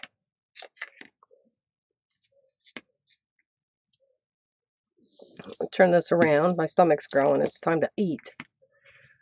So I'm going to just ink that up. Get it nice and juicy. And I don't see no ink on that one. I haven't used this ink pad yet, I don't think. Okay. So now that I got that all inked up and ink around the edge of that thing, I want to make sure I'm really inked.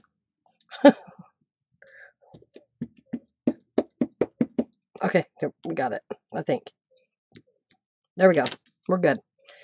I'm going to stamp my image. I probably, yeah, that'll be all right. So all I'm going to have is about half of this design. So hang on, let me do something really quick. I'm going to, okay, I'm going to cut my paper in half. Almost half. It wasn't quite half. Because I'm only going to get half the design on one, um, I line my paper up like this. And then I'm going to stamp, excuse me, hi squirrel. I'm going to stamp, kind of center my stamp. And then I want to press it down. And now I have a design on that there. And let that set. So you're not wasting ink. That's how why I do it like this. You don't waste your ink. Then you do it again. Line it up.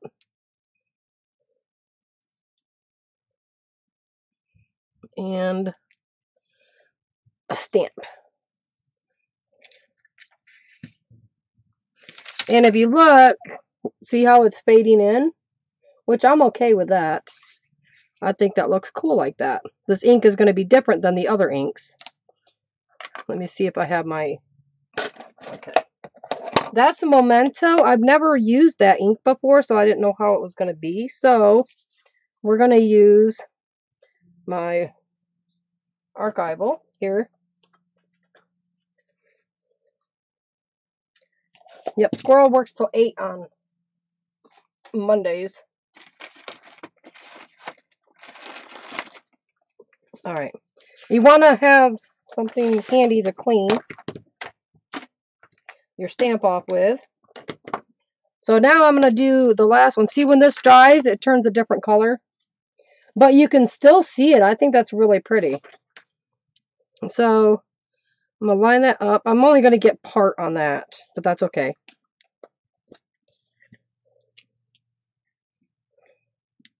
So I'm going to use the Versamark, or not Versamark, this is Archival. And that might show up darker than that.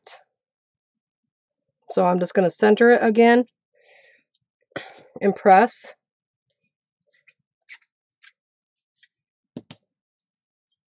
I'll make sure I wipe that up. And you can see what it does. It really didn't change the color. It's a little darker. So now what I'm going to do is I'm going to heat set this so I can make sure that's 100% dry before my next step.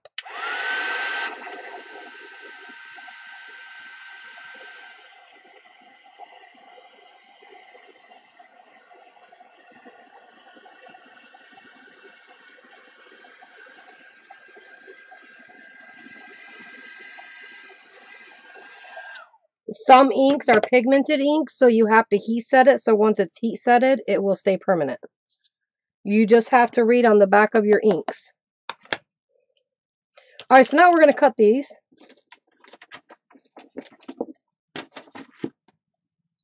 Into the strips. They're, these are going to be tube, tubular ones. Tubular, man. And I'm going to cut one at like a half inch here. And we're going to do this one at an inch.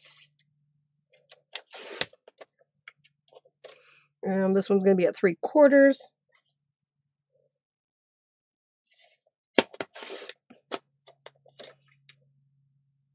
And then we'll go to an inch. Oh, nope, we'll do a half. Right there. And I'll do three quarters on this one. There's them.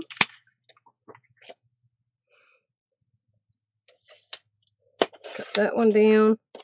If if you if it, I'm stumbling over my words.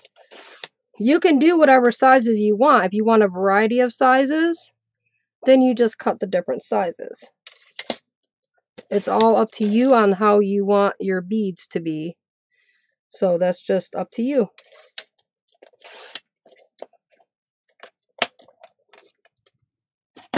So,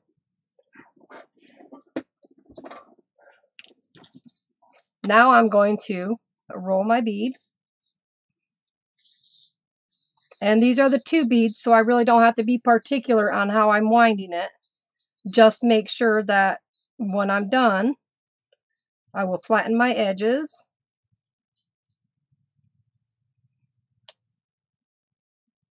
Pop that off, and I'm going to push my edges down so I can make sure my ends are flat. And I always take about a, a half inch or so and I put my glue down. And again, you can use Mod Podge, you can use whatever glue. I'm using tacky glue because I feel it, it sticks better. And I just roll it around.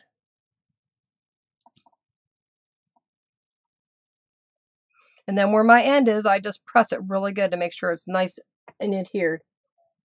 And let me turn my focus on. There we go you can see the texture in there of the stamp. See it? It's very subtle, but it's there. So let me do another one here.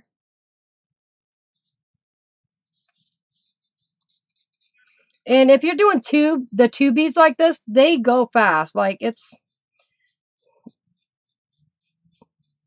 because you just wind it up, pop it off, Flatten your edges. I always turn it one over the other. And throw some glue down. I always make sure I get quite a bit because it will squish out, which I'm fine with. But I want to make sure it's covered.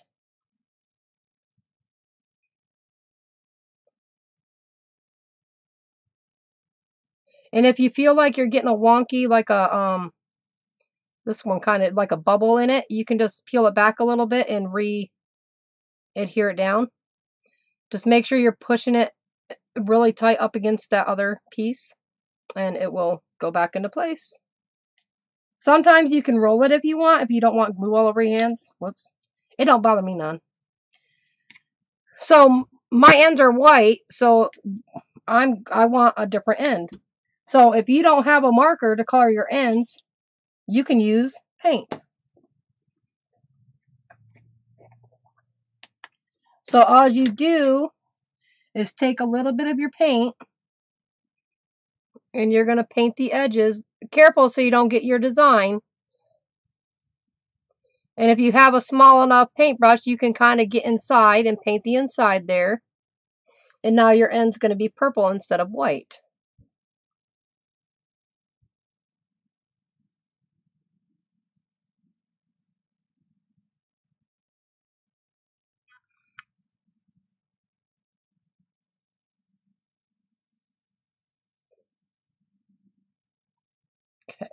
There we go. And now I'm going to set that up on the side to dry a second. And the same with this one, I'm going to do the lighter colored. So let me close that up. Rinse that off. And we'll do one light and one dark.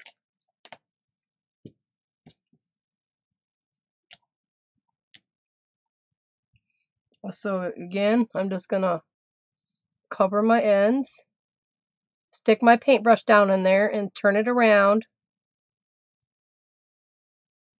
And sometimes that inner piece of paper will fold. You can see that there. I take a toothpick and just press it back through. And you can flatten that back out. It's that easy. And then back onto the other side here. And I'm going to cover that. All right. So while that dries, I said there was a giveaway. So, um, oh, thank you, Jada. Hi, Jada. How are you? All right. So that's what that looks like. And I will coat those. So, um, I was at Aldi's the other day looking for one specific thing because somebody in the lovely group had uh, tagged me in a post to another group called Flamingo Holics Anonymous. well, I joined the group and it's nothing but flamingo stuff and it's insane. But somebody posted something and I was like, oh, I want to go see if they have it. Well, they did and I got it on sale.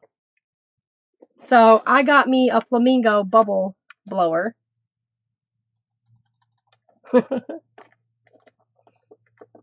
yeah.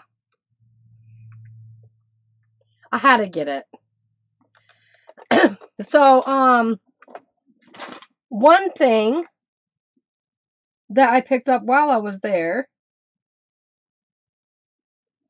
I didn't even show Squirrel this yet, but, um, was a trivet. It's a silicone trivet. Okay. Pretty cool. It's honeycomb shapes. Well, it was a two pack and I it was a dollar ninety nine. So I bought it. Oh, move this out of my way. Well, it was a two pack. So I got two. I don't need two, I only need one. So this one has been used. I have used it on my Gelli plate. I also used it by putting paint on my surface here, sticking it down and sticking it onto the paper. So this one has been used. Um, why these dry, I can show you how they look. Let me move these out of my way.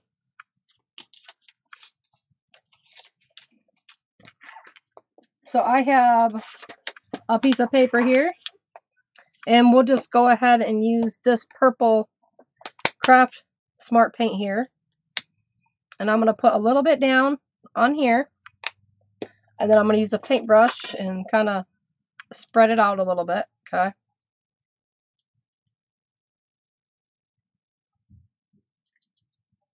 Like that. And I got extra paint here, so we're just going to put it in my book over here on the side. Then I got everything else stuck up on, so hope I don't get paint on my phone. Okay, now, oh, I'm not going to use the one unused. I got to get mine out. I almost grabbed the newest one. I'm going to press that down. And got paint on there.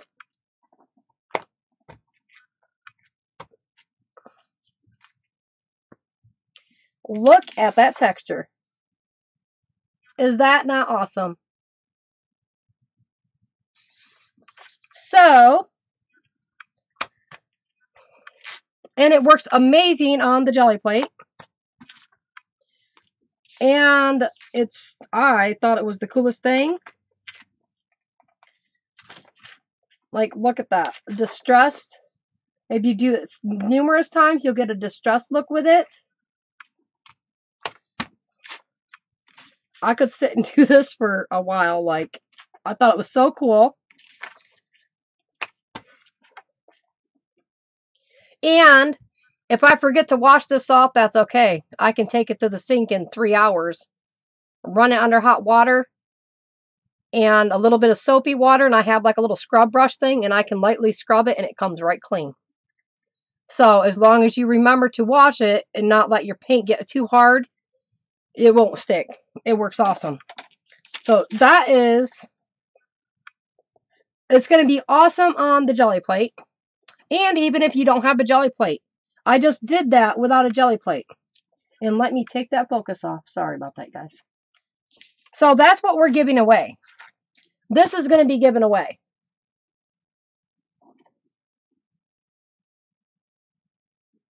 Oh, you know what? I just used the new one. So I will wash this up really, really good. I'm sorry, you guys. This one was the one I used. This was the new one. But that's okay. We will wash it up. I can go pick up another one if it need to be because it was cheap. No, I didn't get it at Ollie's. Um, Aldi's. that's funny. But I will wash it up. It'll come. It comes clean. So, anyways, see, we all have accidents. So, this is what you're going to get. I will pick up a different one if you don't want this one because I accidentally used the wrong one. Um, sorry. But if uh, Kiki wants to do um, the honors, um, she can Nightbot. Hopefully Nightbot's nice. Um, you'll get this. And then I'm going to pick two winners tonight. Somebody will get this and somebody will get paper beads. These ones I will give away. And I will make up, um, I will cut some strips of paper, decorated paper for you. Jada! All right. Jada won. yeah, they wash right up. Yep. They wash right up. That is so awesome, Jada. Way to go. That is so awesome. And I can take this when I go meet Kiki in a couple weeks. If you don't want me to mail it to you, I can um when I go get uh see Kiki in a couple weeks again. Um I think it'll be like after I get back from Missouri, it'll be like towards the end of June. I'm going to get with uh, Kiki. That's awesome. And now we're going to see who's going to get the set of purple beads that I made. And I will finish them. I will emboss them. Um, which I can do a couple of them right now. Um, I'll emboss these ones by uh, we let Nightbot pick the next winner. And I will make up uh, my own personal pattern. It'll be my own design. And you will be the only one who gets that design, whoever wins this one.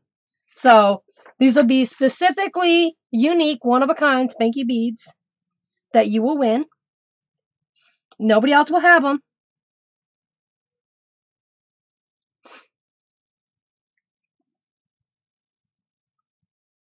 And uh, like if I have more than one bead to do, I always double it up. Oh my gosh, Mary Marlowe. Woo woo. That is so awesome. Awesome, Mary.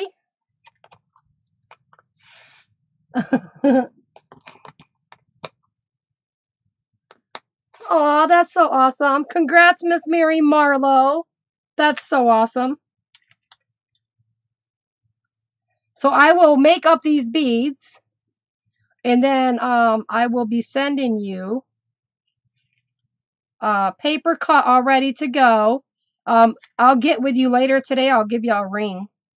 Um, and I'll find out if you want the tapered ones or if you want them like these. The, the uh, pattern papers. Yes, they're purple. Well, that's so funny too. Yup, that's so funny. What's funny is when I was doing purple, I always think of Mary Marlowe because I know she loves purple. It's so funny. That's so awesome. and I'm so happy that Jada won too. That's so awesome.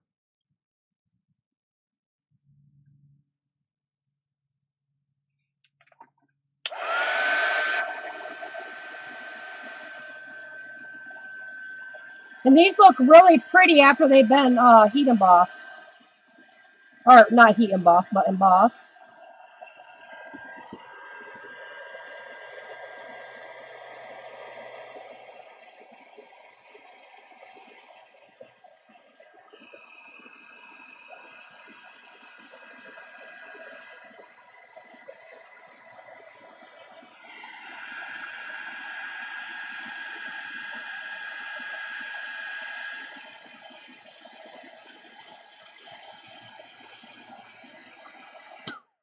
One thing I will say when you use the triple th- uh, or ultra thick, ultra thick embossing powder, um, you want to rotate your whatever you're doing it with. You want to rotate it because sometimes if you get it too hot, the it will drip or run down to the other end. And you'll get it, it it looks a little wonky. You can see like that looks a little wonky. That's okay. You can go over it again and it will fill in those little ridges. But you can see how pretty them look.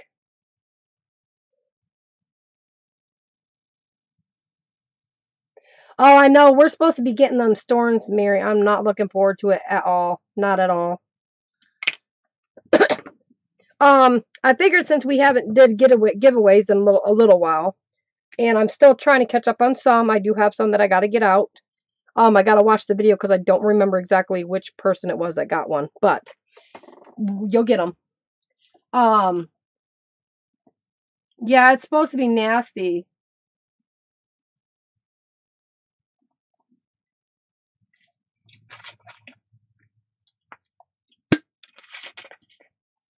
Um, but I have been making a lot of paper beads, and um, they will be for sale in the auction, and I'm going to try and I don't know how many more I'm going to do. I've already got quite a few, like, of all these. And how I'm doing it is, um, some of them are going to be like packages of six. Um, if it was one sheet of pattern of uh, paper, then that's going to be one set. Um, they're going to be different priced, but they're going to be auctioned off. Um, I might just split them up into six uh, sets of six even. But um, I'm not going to show how I do these. I will say though that these ones here, I will have a set price on these the uh, the the melon balls and the ladybugs will have a set price because those take more time um, because of what I add what I do to them to get and how I do it um, they take more time to make so um, more steps so those are going to have a set price and there's going to be a limited amount of those but I will take orders for them um, I am going to be opening up an Etsy store. Um, and Kiki is also going to be part of that. Um, I will, um, so if I have stuff left over, it will be going up in the shop. So the plan for New Year is going to be an Etsy store, but, uh, Squirrel and I, Squirrel was offered a job.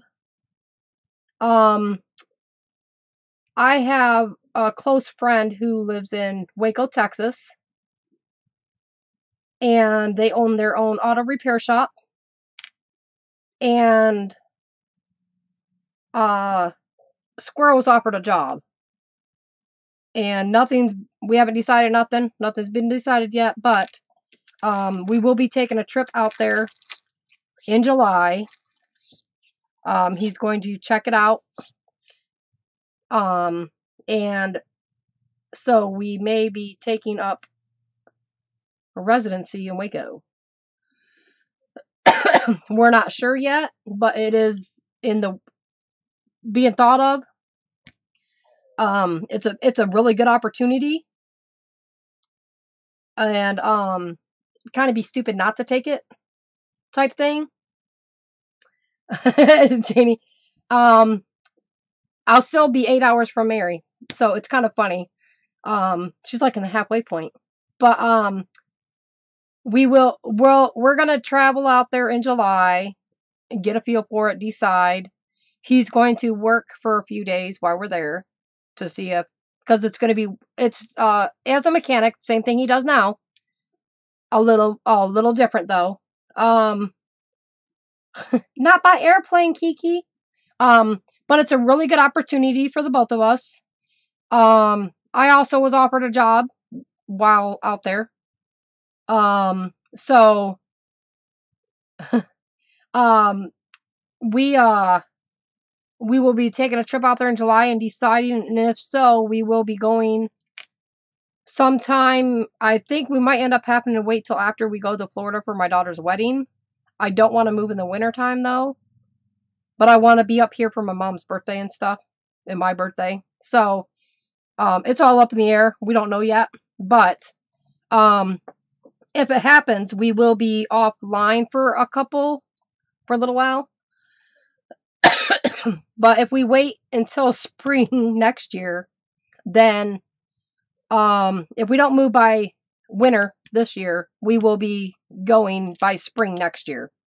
Um, so, but it's a really good opportunity, and um, we're putting all the pros and cons, you know, and deciding, but it is a really good opportunity. So, um, sometimes things happen and whatnot. So things happen for a reason or whatever. You know, you know how that saying goes. So, but, um, I'm, I never really, like, it's not hard for me to pack up and leave because, like, I don't, that, it don't bother me none. I don't care. Um, but I'm close with my mom right now. So, like, a lot closer than we had been over the past 20 years. So, it's going to be a little difficult to leave her, but I'm still working on things, so I'm not sure yet. We're not sure yet. Um, but yeah, it's got some major pros.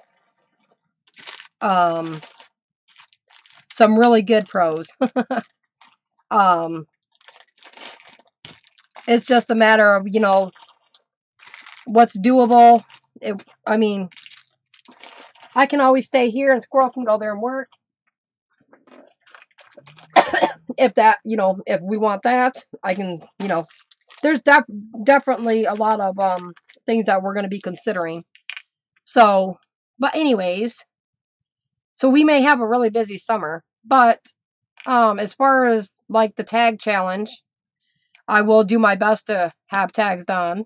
But if we do end up moving, I'm going to have to recruit one of my admins to do the tags for me. That's so true, Lynn. Yeah. Well, um, the biggest thing is like here, um, because he gets paid, um, like a, a week, kind of like a salary.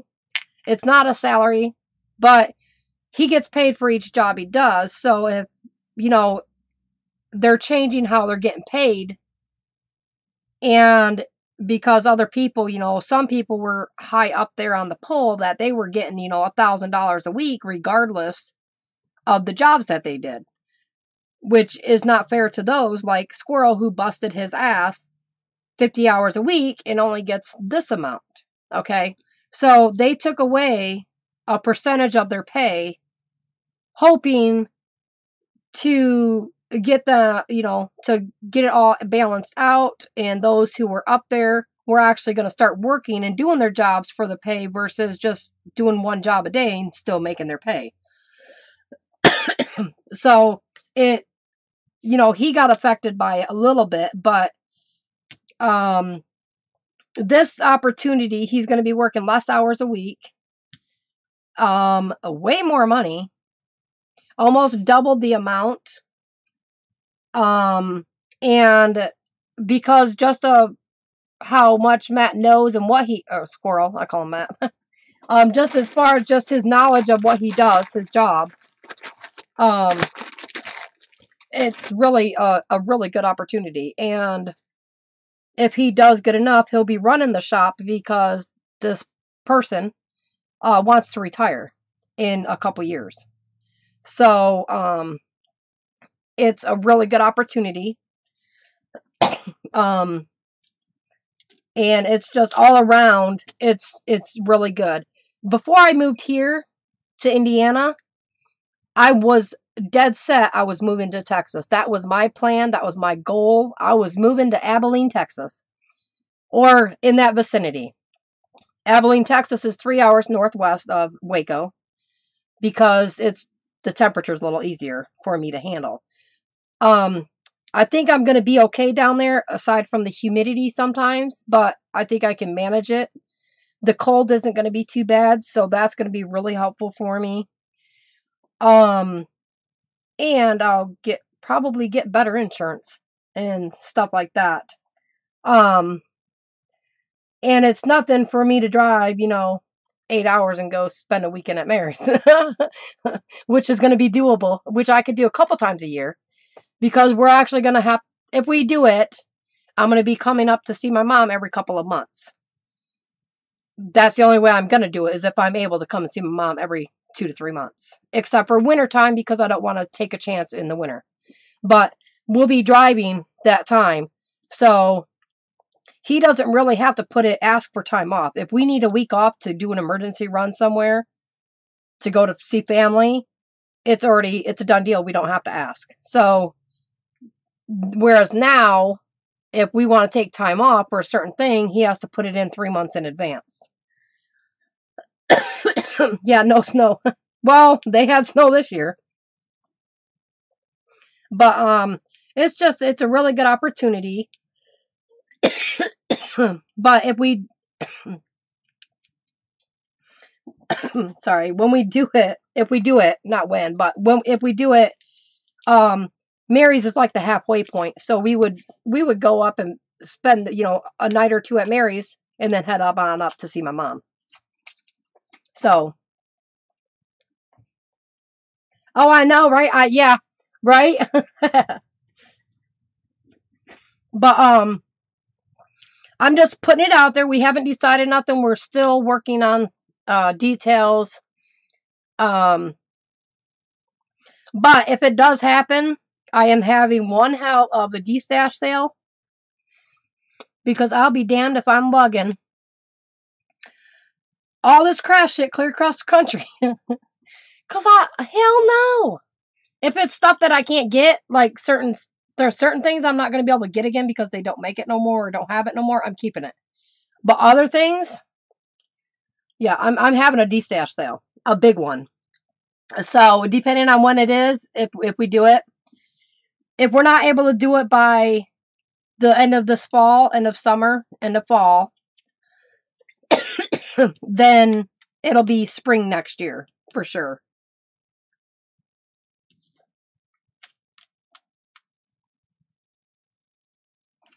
Oh yes, Mary. Yes. Um, we would definitely get you and Tom down for a visit, or just you know, definitely. Oh, oh, I already checked him out, Kiki. I'm golden.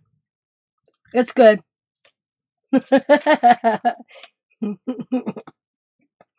she used to work at Joann Fabrics.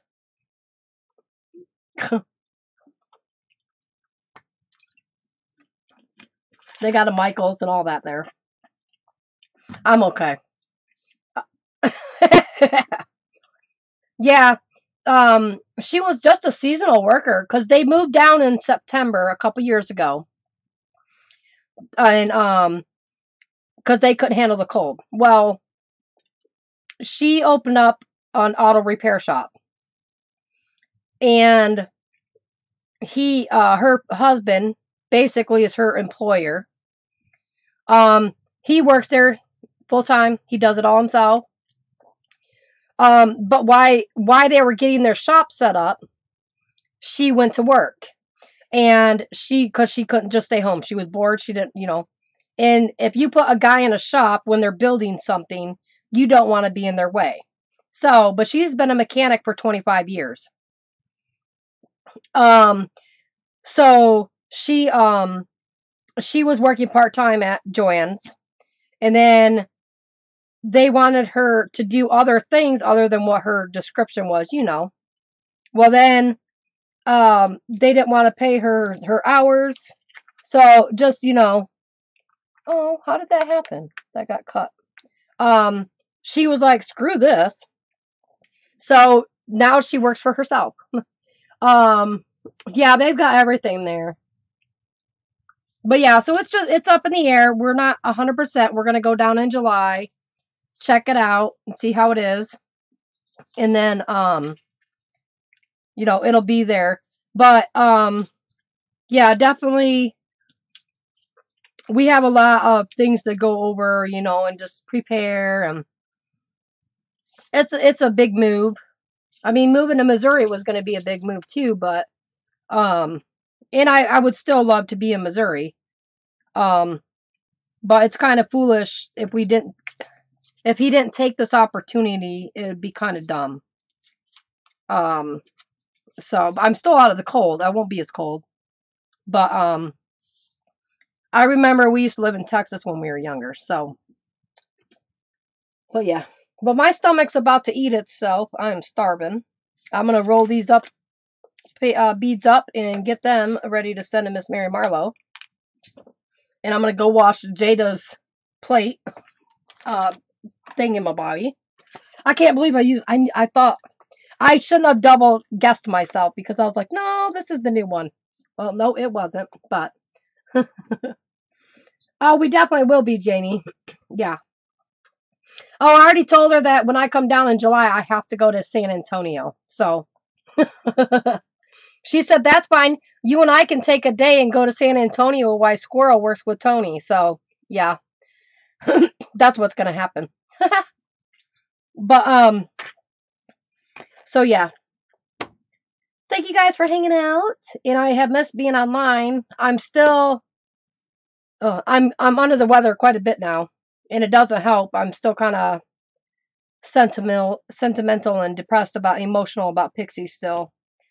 So I just have my moments. So um, it's summertime, springtime, and I don't want to be cooped up in my in my craft room during the day because it gets too hot.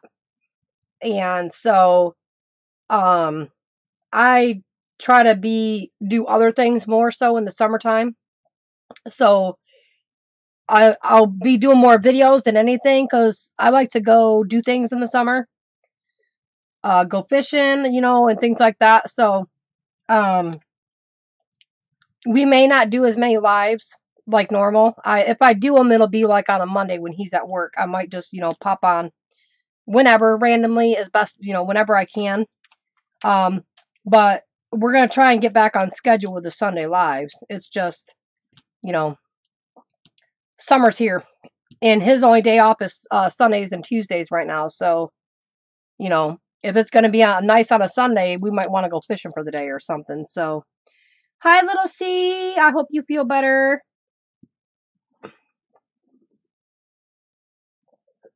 Yes, I love you, Mary. Oh, thank you, Lynn. Yeah, it's a. I mean, it's a big um. Oh, my eyeball itches it's a big decision, you know, and it's it's been it's nothing for me just to pack up and go because um I say that I have a wild heart and a gypsy soul. Um I haven't found my roots yet, I guess you could say. And I just I love just to be able to pack up and go. That's just it's it's I've been that way for the last 25 years. And so for me, before I got into crafting, I could pack everything I owned into the back of a car. Everything. My computer, all my clothes, everything else back in the back seat of a car. Now not so much. So I was looking around my room the other day like four years ago I could pack everything I owned into a car. Now not so much. So it's like holy moly. Yeah, change is really hard, but I'm I'm used to like packing up and going somewhere and starting, you know, starting fresh or, you know, doing different things like that. So there's always a struggle, pros and cons, you know, and but for me it's just I've I've done it. I it it it doesn't bother me. I don't get scared to do it.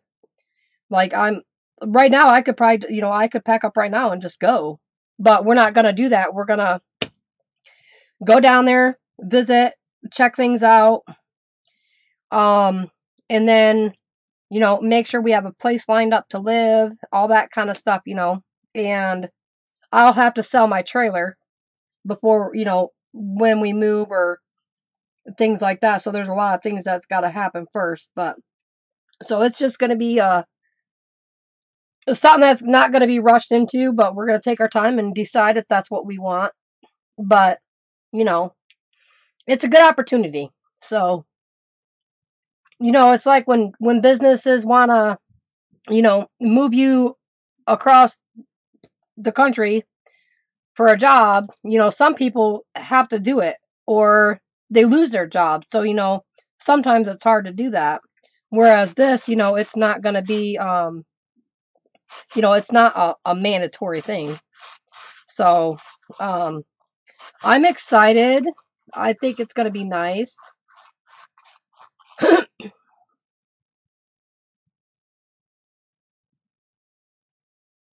Oh, I bet Iceland was beautiful.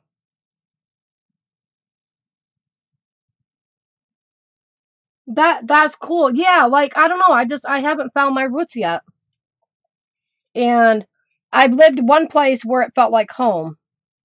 And it that's it. Like and I wasn't even there that long, but it felt like home there. And it was in uh, New Mexico and I loved it down there. But um I just I don't know. I can go visit Mary Marlowe in Arizona too.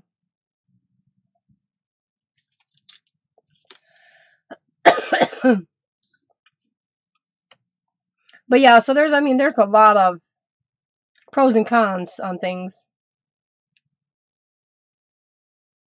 Oh, that would I bet that was amazing. I want to go to um Ireland. I would love to go to Ireland. I think that's one place I would really love to go. Ireland.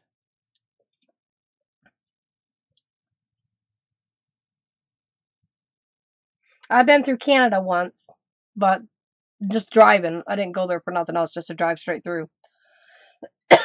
I drove through Canada to go to Buffalo, New York once.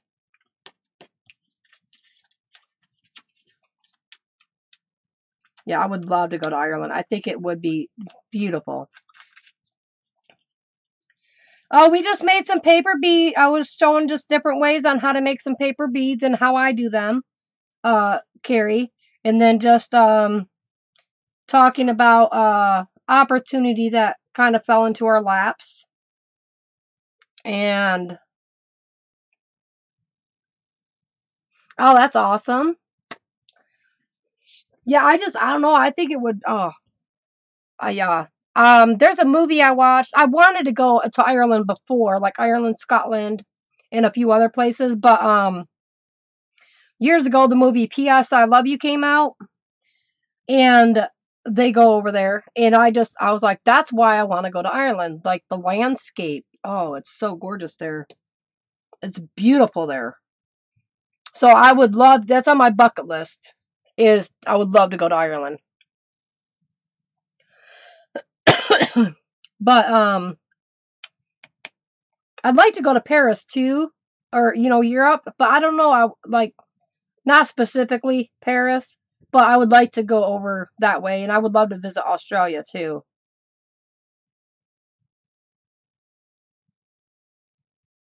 Oh, that's awesome. Yeah, I just hope like by the time I get the, you know, I'm able to go to places like that, or if I can, I hope all the, you know, all that drama, everything is better. Like it's all, you know, it's safer to travel then. But anyways, I am going to hop off here for the night, you guys. Thank you for hanging with me. And I hope you enjoyed my videos on how to make some little mini beads. Like these are actually, this is actually really cute. That one turned out really cute. It's a little so like a looks like a saucer. Um and hopefully you learned or give it a try. Uh Susan or Susan Country Girl Scrap Scrap and Lynn. she never done these before and seen it, so she said she's gonna give it a try. And this one, if you missed it, I made this with washi tape. Here's the washi tape. So um, yeah, you can use washi tape. I like there's so many things that you can use to be able to make these. So, If you guys try it, post your pictures in the group so I can see. I would love to see it. And um enjoy. Have a wonderful evening. And I believe I think Lisa comes on tonight. I don't remember, but keep an eye out for her if she does. and I will catch you guys in my next video. Bye. Loves and hugs.